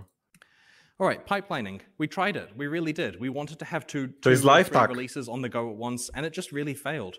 And we found several problems with this. The first one was that when we're focusing on too many releases at once, we always had an excuse to go and look at the other one when things got hard. If you assign a developer, do all this stuff for release A, and then maybe do the stuff for release B later, they'll work on A like they're meant to until they get stuck. And instead of then solving the hard problem, they would often say, oh, well, there's some easy stuff I can do on B, so I'll just work on that for a few hours instead to clear my mind. And that's great, but then A is completely stalled. And when you have precious few weeks in order to get this stuff done, you really can't handle those stalls. Am I going to play Lords of the Fallen? Already did. If you pipeline releases, you do not have time to react to what the game actually needs. By the time it's apparent that the game needs a new end game, you're like three quarters of the way through making a new beginning to it or something like that. Because Reddit will suddenly decide there is a thing that needs fixing. And if you have the ability to say, yes, sir, and get that done in 13 weeks, that's not even good enough some of the time for them. But having to spend like, you know, oh, wait, wait, we've got the next two expansions almost finished, kind of. Well, we'll do this one next year. It's just not going to work. The game is on fire until that thing is fixed. It's also important not to stall content for later. We get into a situation where we're like, we finished all the skills we said we were going to make, and we've got two extra ones that got out of prototyping and they're kind of finished. Do we wait? Do we leave them for the next expansion so we have less to do? No, put Stary, them in the jest game now. Dokładnie to, co zrobił. Blizzard. Blizzard rzeczy, zaplanował kurwa. trzy sezony i nie wpuścił ich do gry na samym początku, tylko je odłożył na sezon. Tak. Jakby cały ten też kwestia pipeliningu, nie? Że No. tu masz, oni mówią, że nawet nie pipelinują dwa ligi do, dwie ligi do przodu, bo to jest przesada. Versus Blizzard, który dwa Trzy dodatki, sezony, kurwa, no. trzy sezony, nie? No. To nie jest celowy przytyk Astiano, bo to jest z 2019. To nie mógł być celowy przytyk, bo to jest przed Diablo 4. No. To jest przytyk do produktu, który jeszcze nie istniał. now all No. the time because you don't get second chances. On As much wiedział. growth as possible every league, otherwise you'll start to decline. People express concern about creativity here. They say, look, Chris, you've got this plan for like another 10 years of Path of Exile with four releases per year. That's 40 more leagues. I can think of two good ones. Where are we going to get 40 from? And I always refer them back to Magic the Gathering. They have released Nie, no to jest prawda. Ja się w sets pełni for the zgadzam z, z, z so Chrisem. many decades now. Like, Jak jesteś kreatywny, bez żadnego problemu jesteś w stanie wymyślić nowy content. Zawsze. Tak jakby Mhm. nie ma takiej sytuacji, że kurwa nie jesteś w stanie czegoś wymyśleć, stary. Ja jestem w stanie wymyślić kurwa 50 challenge do Dark Soulsów i na jakie sposoby mógłbym je kurwa przejść, nie? Dawaj ze trzy. De, dobra. Za każdym razem, gdy podnoszę nową broń, to muszę zacząć jej używać. Za każdym razem, gdy dostaję hita, e, tracę level. E, za każdym razem, gdy używam consumable'a, zmniejszam sobie maksymalną liczbę Estus Flaska, jaką mogę maksymalnie użyć w danym poziomie. No jest, co dzięki. 26 Bez żadnego problemu wymyśl też takie popierdolone rzeczy. always new ideas. It's amazing the fact they can go back to the well and find really cool, compelling stuff. And so whenever I hear that we're not going to come up with another 10 or 20 or 30 of these, I go, they did 100, you know, and I'm certain we'll be able to. The well will refill. Now, if you're a Ale pro- właśnie, bo to oni tak bardzo mocno robią jakieś inne gry, takie co myślisz, że na pewno nie zrobisz jakby iteracji tej gierki w PoE. Na przykład właśnie autobatlery teraz były, No. że zawsze się zastanawiasz, kurwa, jakby mieli podejść teraz do karcianki, jakby mieli podejść do platformówki. Czy jest, są w stanie wymyślić, teraz już nie myślisz, czy są w stanie wymyślić jakąś nową ligę, bo wiesz, że tak, tylko czy są w stanie wymyślić ligę, która nawiązuje do jakiegoś dziwnego typu gry, który wydaje ci się, że w żaden sposób nie pasuje. Dziki da mnie Legzarokrazem. To jest super, no. Nexus mówi, że w WoWie jest dokładnie to samo, dlatego w trakcie Mhm. trwania dodatku nie mogą rzekomo zrobić większych zmian, bo pracują już kurwa na dwa dodatki do przodu. A, no to na pewno, to na pewno. Tylko akurat z dodatkami to, to jest jeszcze problematyczna kwestia, bo kurde... Nie no, no planujesz coś do przodu i robisz dodatkowy Mhm. content, ale jak on, Chris Wilson mówi to w takim kontekście, że robisz content na dodatek, przez przypadek wymyśliłeś dwa dodatkowe skille, to go dodajesz do tego dodatku, a nie stwierdzasz, A, no. kurwa, może to dodamy później. I w trakcie trwania tego contentu budujesz nowy content. No. A wiesz, A co nie jest właśnie- stwierdzasz, to jest dobre i to sprzedamy później. A propos tego jeszcze, że powiedzieli, że mało pracy, w sensie mniejszą ilość pracy włożyć i w taki ewentualnie nieskończony produkt wypuścić, że to lepiej czasem. Kurwa, On nie są powiedział, że. rzeczy. Nie, nie, nie. On powiedział zupełnie coś innego, że nie chodzi o niewypuszczanie Uprościłem, skończonego. uprościłem. Tylko chodzi o to, żeby w odpowiednie miejsce wsadzić tą pracę i wiedzieć, co można zostawić mniej skończone, a co, moż, a co trzeba dokończyć. Ale czasem jest tak, że lepiej jest wypuścić, mam wrażenie, coś, co jest niedojebane trochę, zanim włożysz zbyt dużo czasu i wysiłków perfekt jakby w coś, co i tak musisz zebrać wystarczającą ilość feedbacku, żeby wiedzieć, w którą stronę to ma iść. Nie wiem, No. czy to jest zrozumiałe, No. co powiedziałem, ale na przykład No. system lutu, jak robili rework systemu lutu z rerów parę sezonów temu, to gracze po nich jebali przez pół roku, bo wprowadzili system ar- tego, Ale Arch Nemesisa. To jest I oni generalnie musieli- giga ciekawe, bo stary Mhm. w PoE cały czas jebią po deweloperach, że coś źle robią, kurwa. Non-stop. Mhm. I to jest totalnie pojebane. Ale wiesz, to, że oni po nich jebią, zazwyczaj prowadzi do pozytywnych zmian. Na przykład jak wprowadzili rework Ja wiem, lutu, bo oni są świadomi tego, co chcą finalnie zrobić, kurwa. Mhm. To pół roku dostali jebani za to, aż wypracowali tam może czwartą wersję i za czwartym razem to było już dużo lepiej, lepsze niż kiedykolwiek wcześniej. Że na przykład. Bo no, no, no. Ale kurwa, bo widzisz, bo to wszystko się stary teraz sprowadza do Chrisa Wilsona, który jest po prostu mastermindem i on zawsze ma jakiś powód robienia czegoś. No. No, na, na S się Christ, No. Christopher, piękny człowiek. Widać, że Manager, z, you're z probably Polski. asking how we can make all of this stuff in 13 weeks, because it's not just we start work and then 13 weeks later we release it. Consider how the schedule actually works in reality. So we release the content, and now there's problems with it, right? Right now, there's a bit of a fire where we're fixing some stuff with synthesis that the community didn't like. That's cool. We'll have that fixed early next week. But this has taken the first two weeks of the schedule to do so. So there's some time spent doing live ops work on the existing release you've done. Then you've got to prototype the new stuff, right? Ideally, that's a bit pipelined in there, but still, it takes time. It's going to be another week before we really know for sure what 370 is. So that's three weeks gone, 10 weeks left. And coming from the other end, we like to announce our content three weeks before the end. We put our page up, we get the players hyped, they have time to tell their friends, there's a countdown. You know, it makes sense for people to book time off work. So that's three weeks gone there. We then have to actually do a press tour where we show all the journalist stuff. It's very important to actually do real marketing and PR. So we spend two weeks showing all the people stuff and preparing the marketing page. But in order to do this, we have to actually have content ready to show them, like a trailer and slides and this kind of stuff. And that takes a week. So now we've got this like four or five week window in the middle to actually make all of the stuff. And that's Pojebane w difficult. And that's where the next counterintuitive device comes in. This is how Myślisz, you że get your jakby art so quickly. takiego create Chrisa Wilsona zatrudnić teraz przy Diablo 4, to nie czy by to wyprowadził, tylko ile by Ja mu bym- ja czasu że zajęło to, żeby to wyprowadzić, nie? Ja myślę, że w przeciągu jednego, dwóch dodatków zrobiłby zajebistą gierkę z tego. Że to, to długo by to trwało, bo musiałby tam pewnie, wiesz, no powiedzmy sobie szczerze, jak wchodzisz do tak dużych struktur, nie jesteś w stanie zrobić instantowych zmian, nie? Mhm. Ale żeby to, ja myślę, żeby wyprowadził, że to jest geniusz. No, ja nie no, na pewno nie, Content... na pewno, kurwa. Mhm. You have no plan for.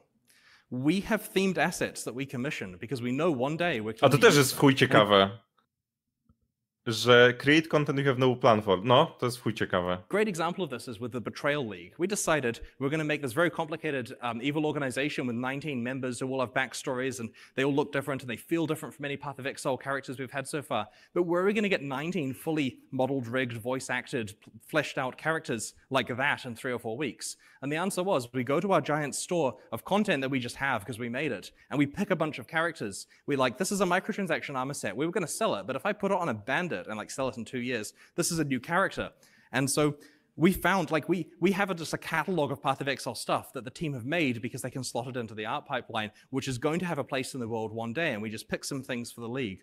And I'll give you another example. So this is not a real example. We are never going to do a Path of Exile expansion related to dragons, because we don't want there to be dragons in our world. However, if we decided one day that dragons were okay, we'd say to the team, hey guys, make some dragons and like tell me in a year when they're finished. And then there'll be dragons sitting there in the library of stuff. And when we're looking at league ideas, we're like, could we do dragons this time? Sure, how would that work? And when we hit the prototyping, the dragons I to jest sposób, w jaki właśnie tworzą te kurwa prototypy, żeby mieć coś zakolejkowanego, ale e, nie żeby to stworzyć i insta wypuścić, nie? Czyli Ta. gada o tym, jak w kreatywny sposób w razie czego odkładać content, nie? To trochę tak, jakby Blizzard przy prototypowaniu e, Dragonflighta przede wszystkim powiedział, ej, zróbcie jakieś zajebiste arty smoków, drakonidów, e, draktirów, jakieś fajne, nie wiem, wieże magiczne, które by się nadawały na wyspę. No. E, ale mhm. systemy to przemyślimy na, na końcu, żeby jak najwięcej uzyskać, ogarnąć, co się graczom podobało albo nie podobało w poprzednim dodatku. No, coś takiego.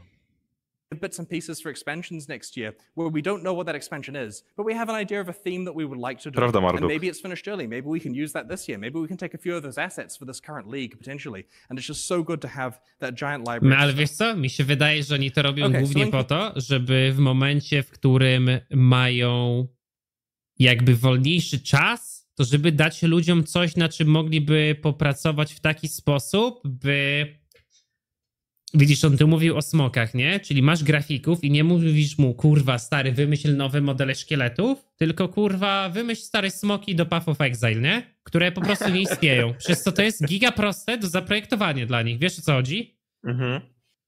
A to jest prywaciarskie takie, nie? Jak nie masz coś robić, to zrób coś, synek. To zrób smoki. Krzysiu, ale my mamy dodatek gotowy. Kurwa, zrób smoki, ale my nie mamy smoków Path of Exile. To będziemy mieć. No, to tak stary wygląda. A słyszałem, że pensje są słabe, no, w Grinding Gear Games, niestety. Tak, to prawda? No, więc by się zgadzało z, jeszcze z takim prywaciarskim podejściem. No. Ale ja się nie dziwię, wiesz, bo oni są jedynym takim poważnym studiem na ca w całym kraju w Nowej Zelandii. Mhm. Więc podejrzewam, że jak tam mieszkasz i chcesz się dostać do game devu, no to są taką najlepszą Wiem, ścieżką, jakbyś złapał no. Pana Boga za nogi. Mhm więc mogą sobie pewnie trochę. Przybierać, no. Tak, tak, tak, tak. Okay, Zawsze lecimy. mają kogoś na twoje miejsce. No, niestety. Panie, panie Reczku. We, init we, initially released Path of Exile, kind of failed at getting any growth. Then we turned things around with this aggressive 13 week schedule. And I've talked a lot about how we actually manage that and various takeaways that are a bit counterintuitive to regular industry advice. There's one last thing I'd like to end on.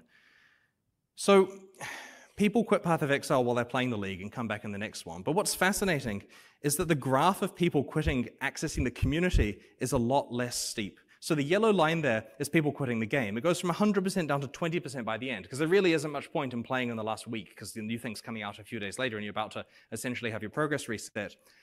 But people still use the website at no less than 50% of peak. And these are players okay. who are still engaged in reading the patch notes, telling us we did it Jeszcze wrong, raz co, stary? changes, and jakby nawet gdy ludzie przestają grać, to 50% piku ligi zawsze jest, y, wchodzi regularnie na stronę że coś tam zobaczyć O. z patch notesami, coś tam podpatrzeć z buildami. Mega dobrze to wygląda, nie? Mhm. buying stuff. People who are not playing the game will come back and buy micro- microtransactions and supporter packs because they're available for when they next want to play. And this is amazing because this is actually what we care about is keeping the community engaged. And that community is never going below 50% during the quiet periods. What's also interesting is the size of the community right at the end there, in terms of people accessing the website, is a perfect predictor for server numbers for the next league. So far, for like, you know, three years in a row, we've been able to predict server capacity for each launch because of just looking at the website activity and using some ratios. And that's worked really well.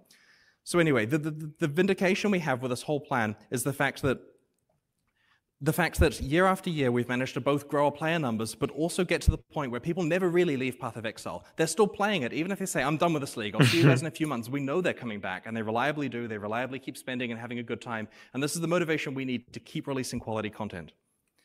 All right, so slight plug. We're hiring. O, We're in New. Zealand, so that's hard. It's hard to get work visas. and Do- we na don't pay as Skype'ie the dodajemy. Na- area, but if ja na that's no Discordzie problem, piszę. And you want to work on Path of CJ Exile, like everything you saw, there's the contact details.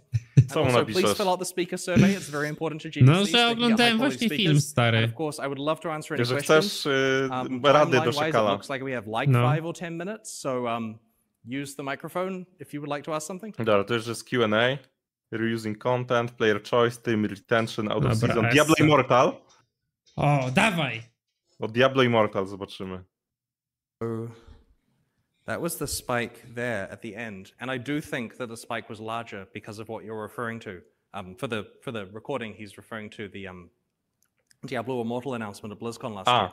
This did drive traffic to Path of Exile. Having said that, the trail was still our best release from a content Uh-huh. point of view, and we believe it still would have been our best release, um, even without the additional traffic. We can tell. Ciekawe, co Diablo it's 4 nie helpful. by powiedział. But, um, No przecież no, największym pikiem, nie, dla nich było stary wypuszczenie e, bety Diablo 4, nie? Po becie Diablo 4 odnotowali największy kurwa pik, nie?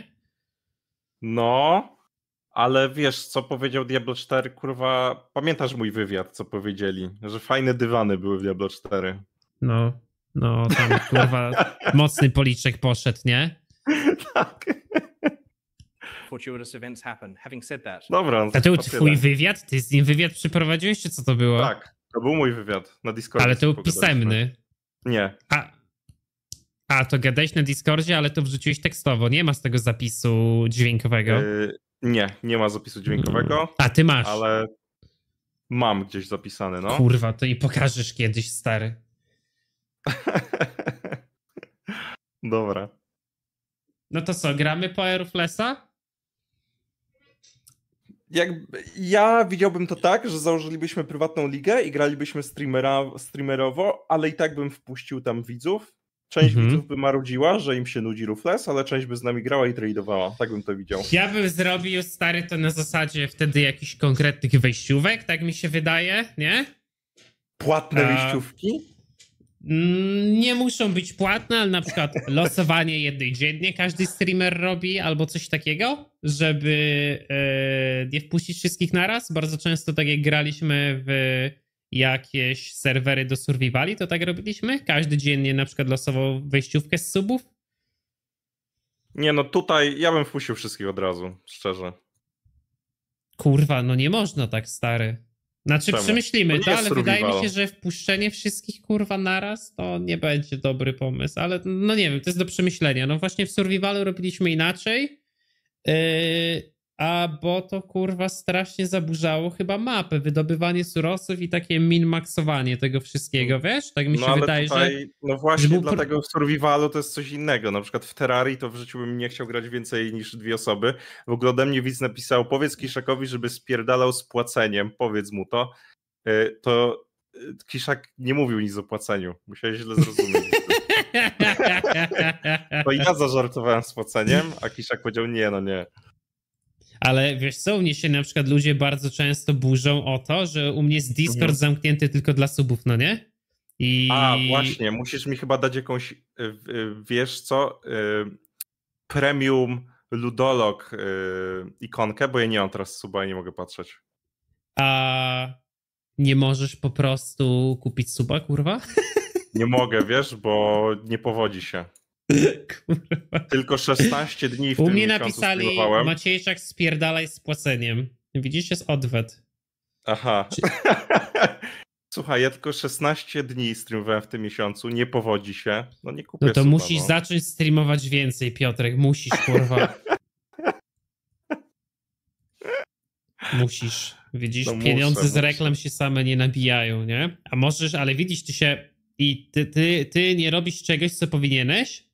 Mhm. Powinieneś teraz się w dobry sposób tłumaczyć tym, że ty po prostu streamujesz z pasji i grasz w gry wtedy, gdy masz na to ochotę i nie starasz się tego abusować.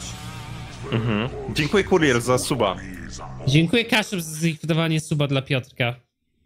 O, dostałem słowo ciebie. Dziękuję Kaszu. No, widzisz. Czyli mówi, mówi, że mówisz, że powinienem narrację pasjonata przyjmować. Ale Tak, wiesz co, no. u mnie to zawsze, z, y, bo dzięki David na za przykład. suba. No, no Ja jesteś. nie, potrafię, ja nie potrafię się zmusić do robienia rzeczy, na których nie czuję. Czyli ja nie czujesz nadawałbym streamowania? Czuję, ale może nie zawsze, dlatego nie To streamuję co, poczekaj, to uważasz, że streamowanie nie jest normalną pracą?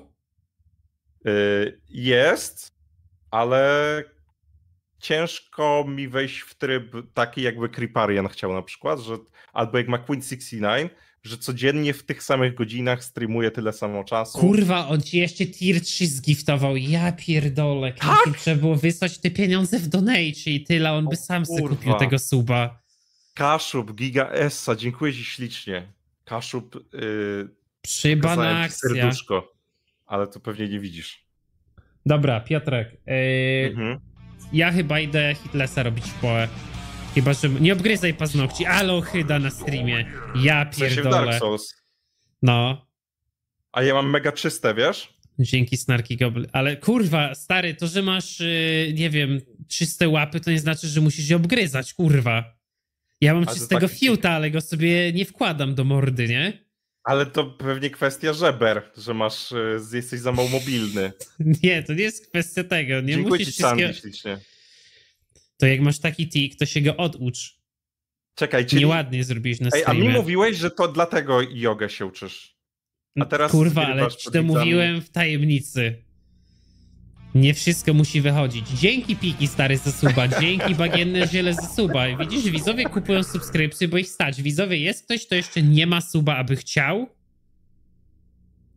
No, na pewno. Bo to jest ważny moment, dobry moment, żeby o to zapytać. Ej, i wtedy timeouty sadzisz im. Chciałbyś, e, Luk Student? To se kup, kurwa, ja pierdolę. Dobra, to baw się dobrze na Hitlesie. Trzymaj się, No. dzięki za wspólnie Trzymaj się do czas. zoba. Pa, pa. No, ja również, papa. Dobra, widzowie, walimy Hitlesa, nie?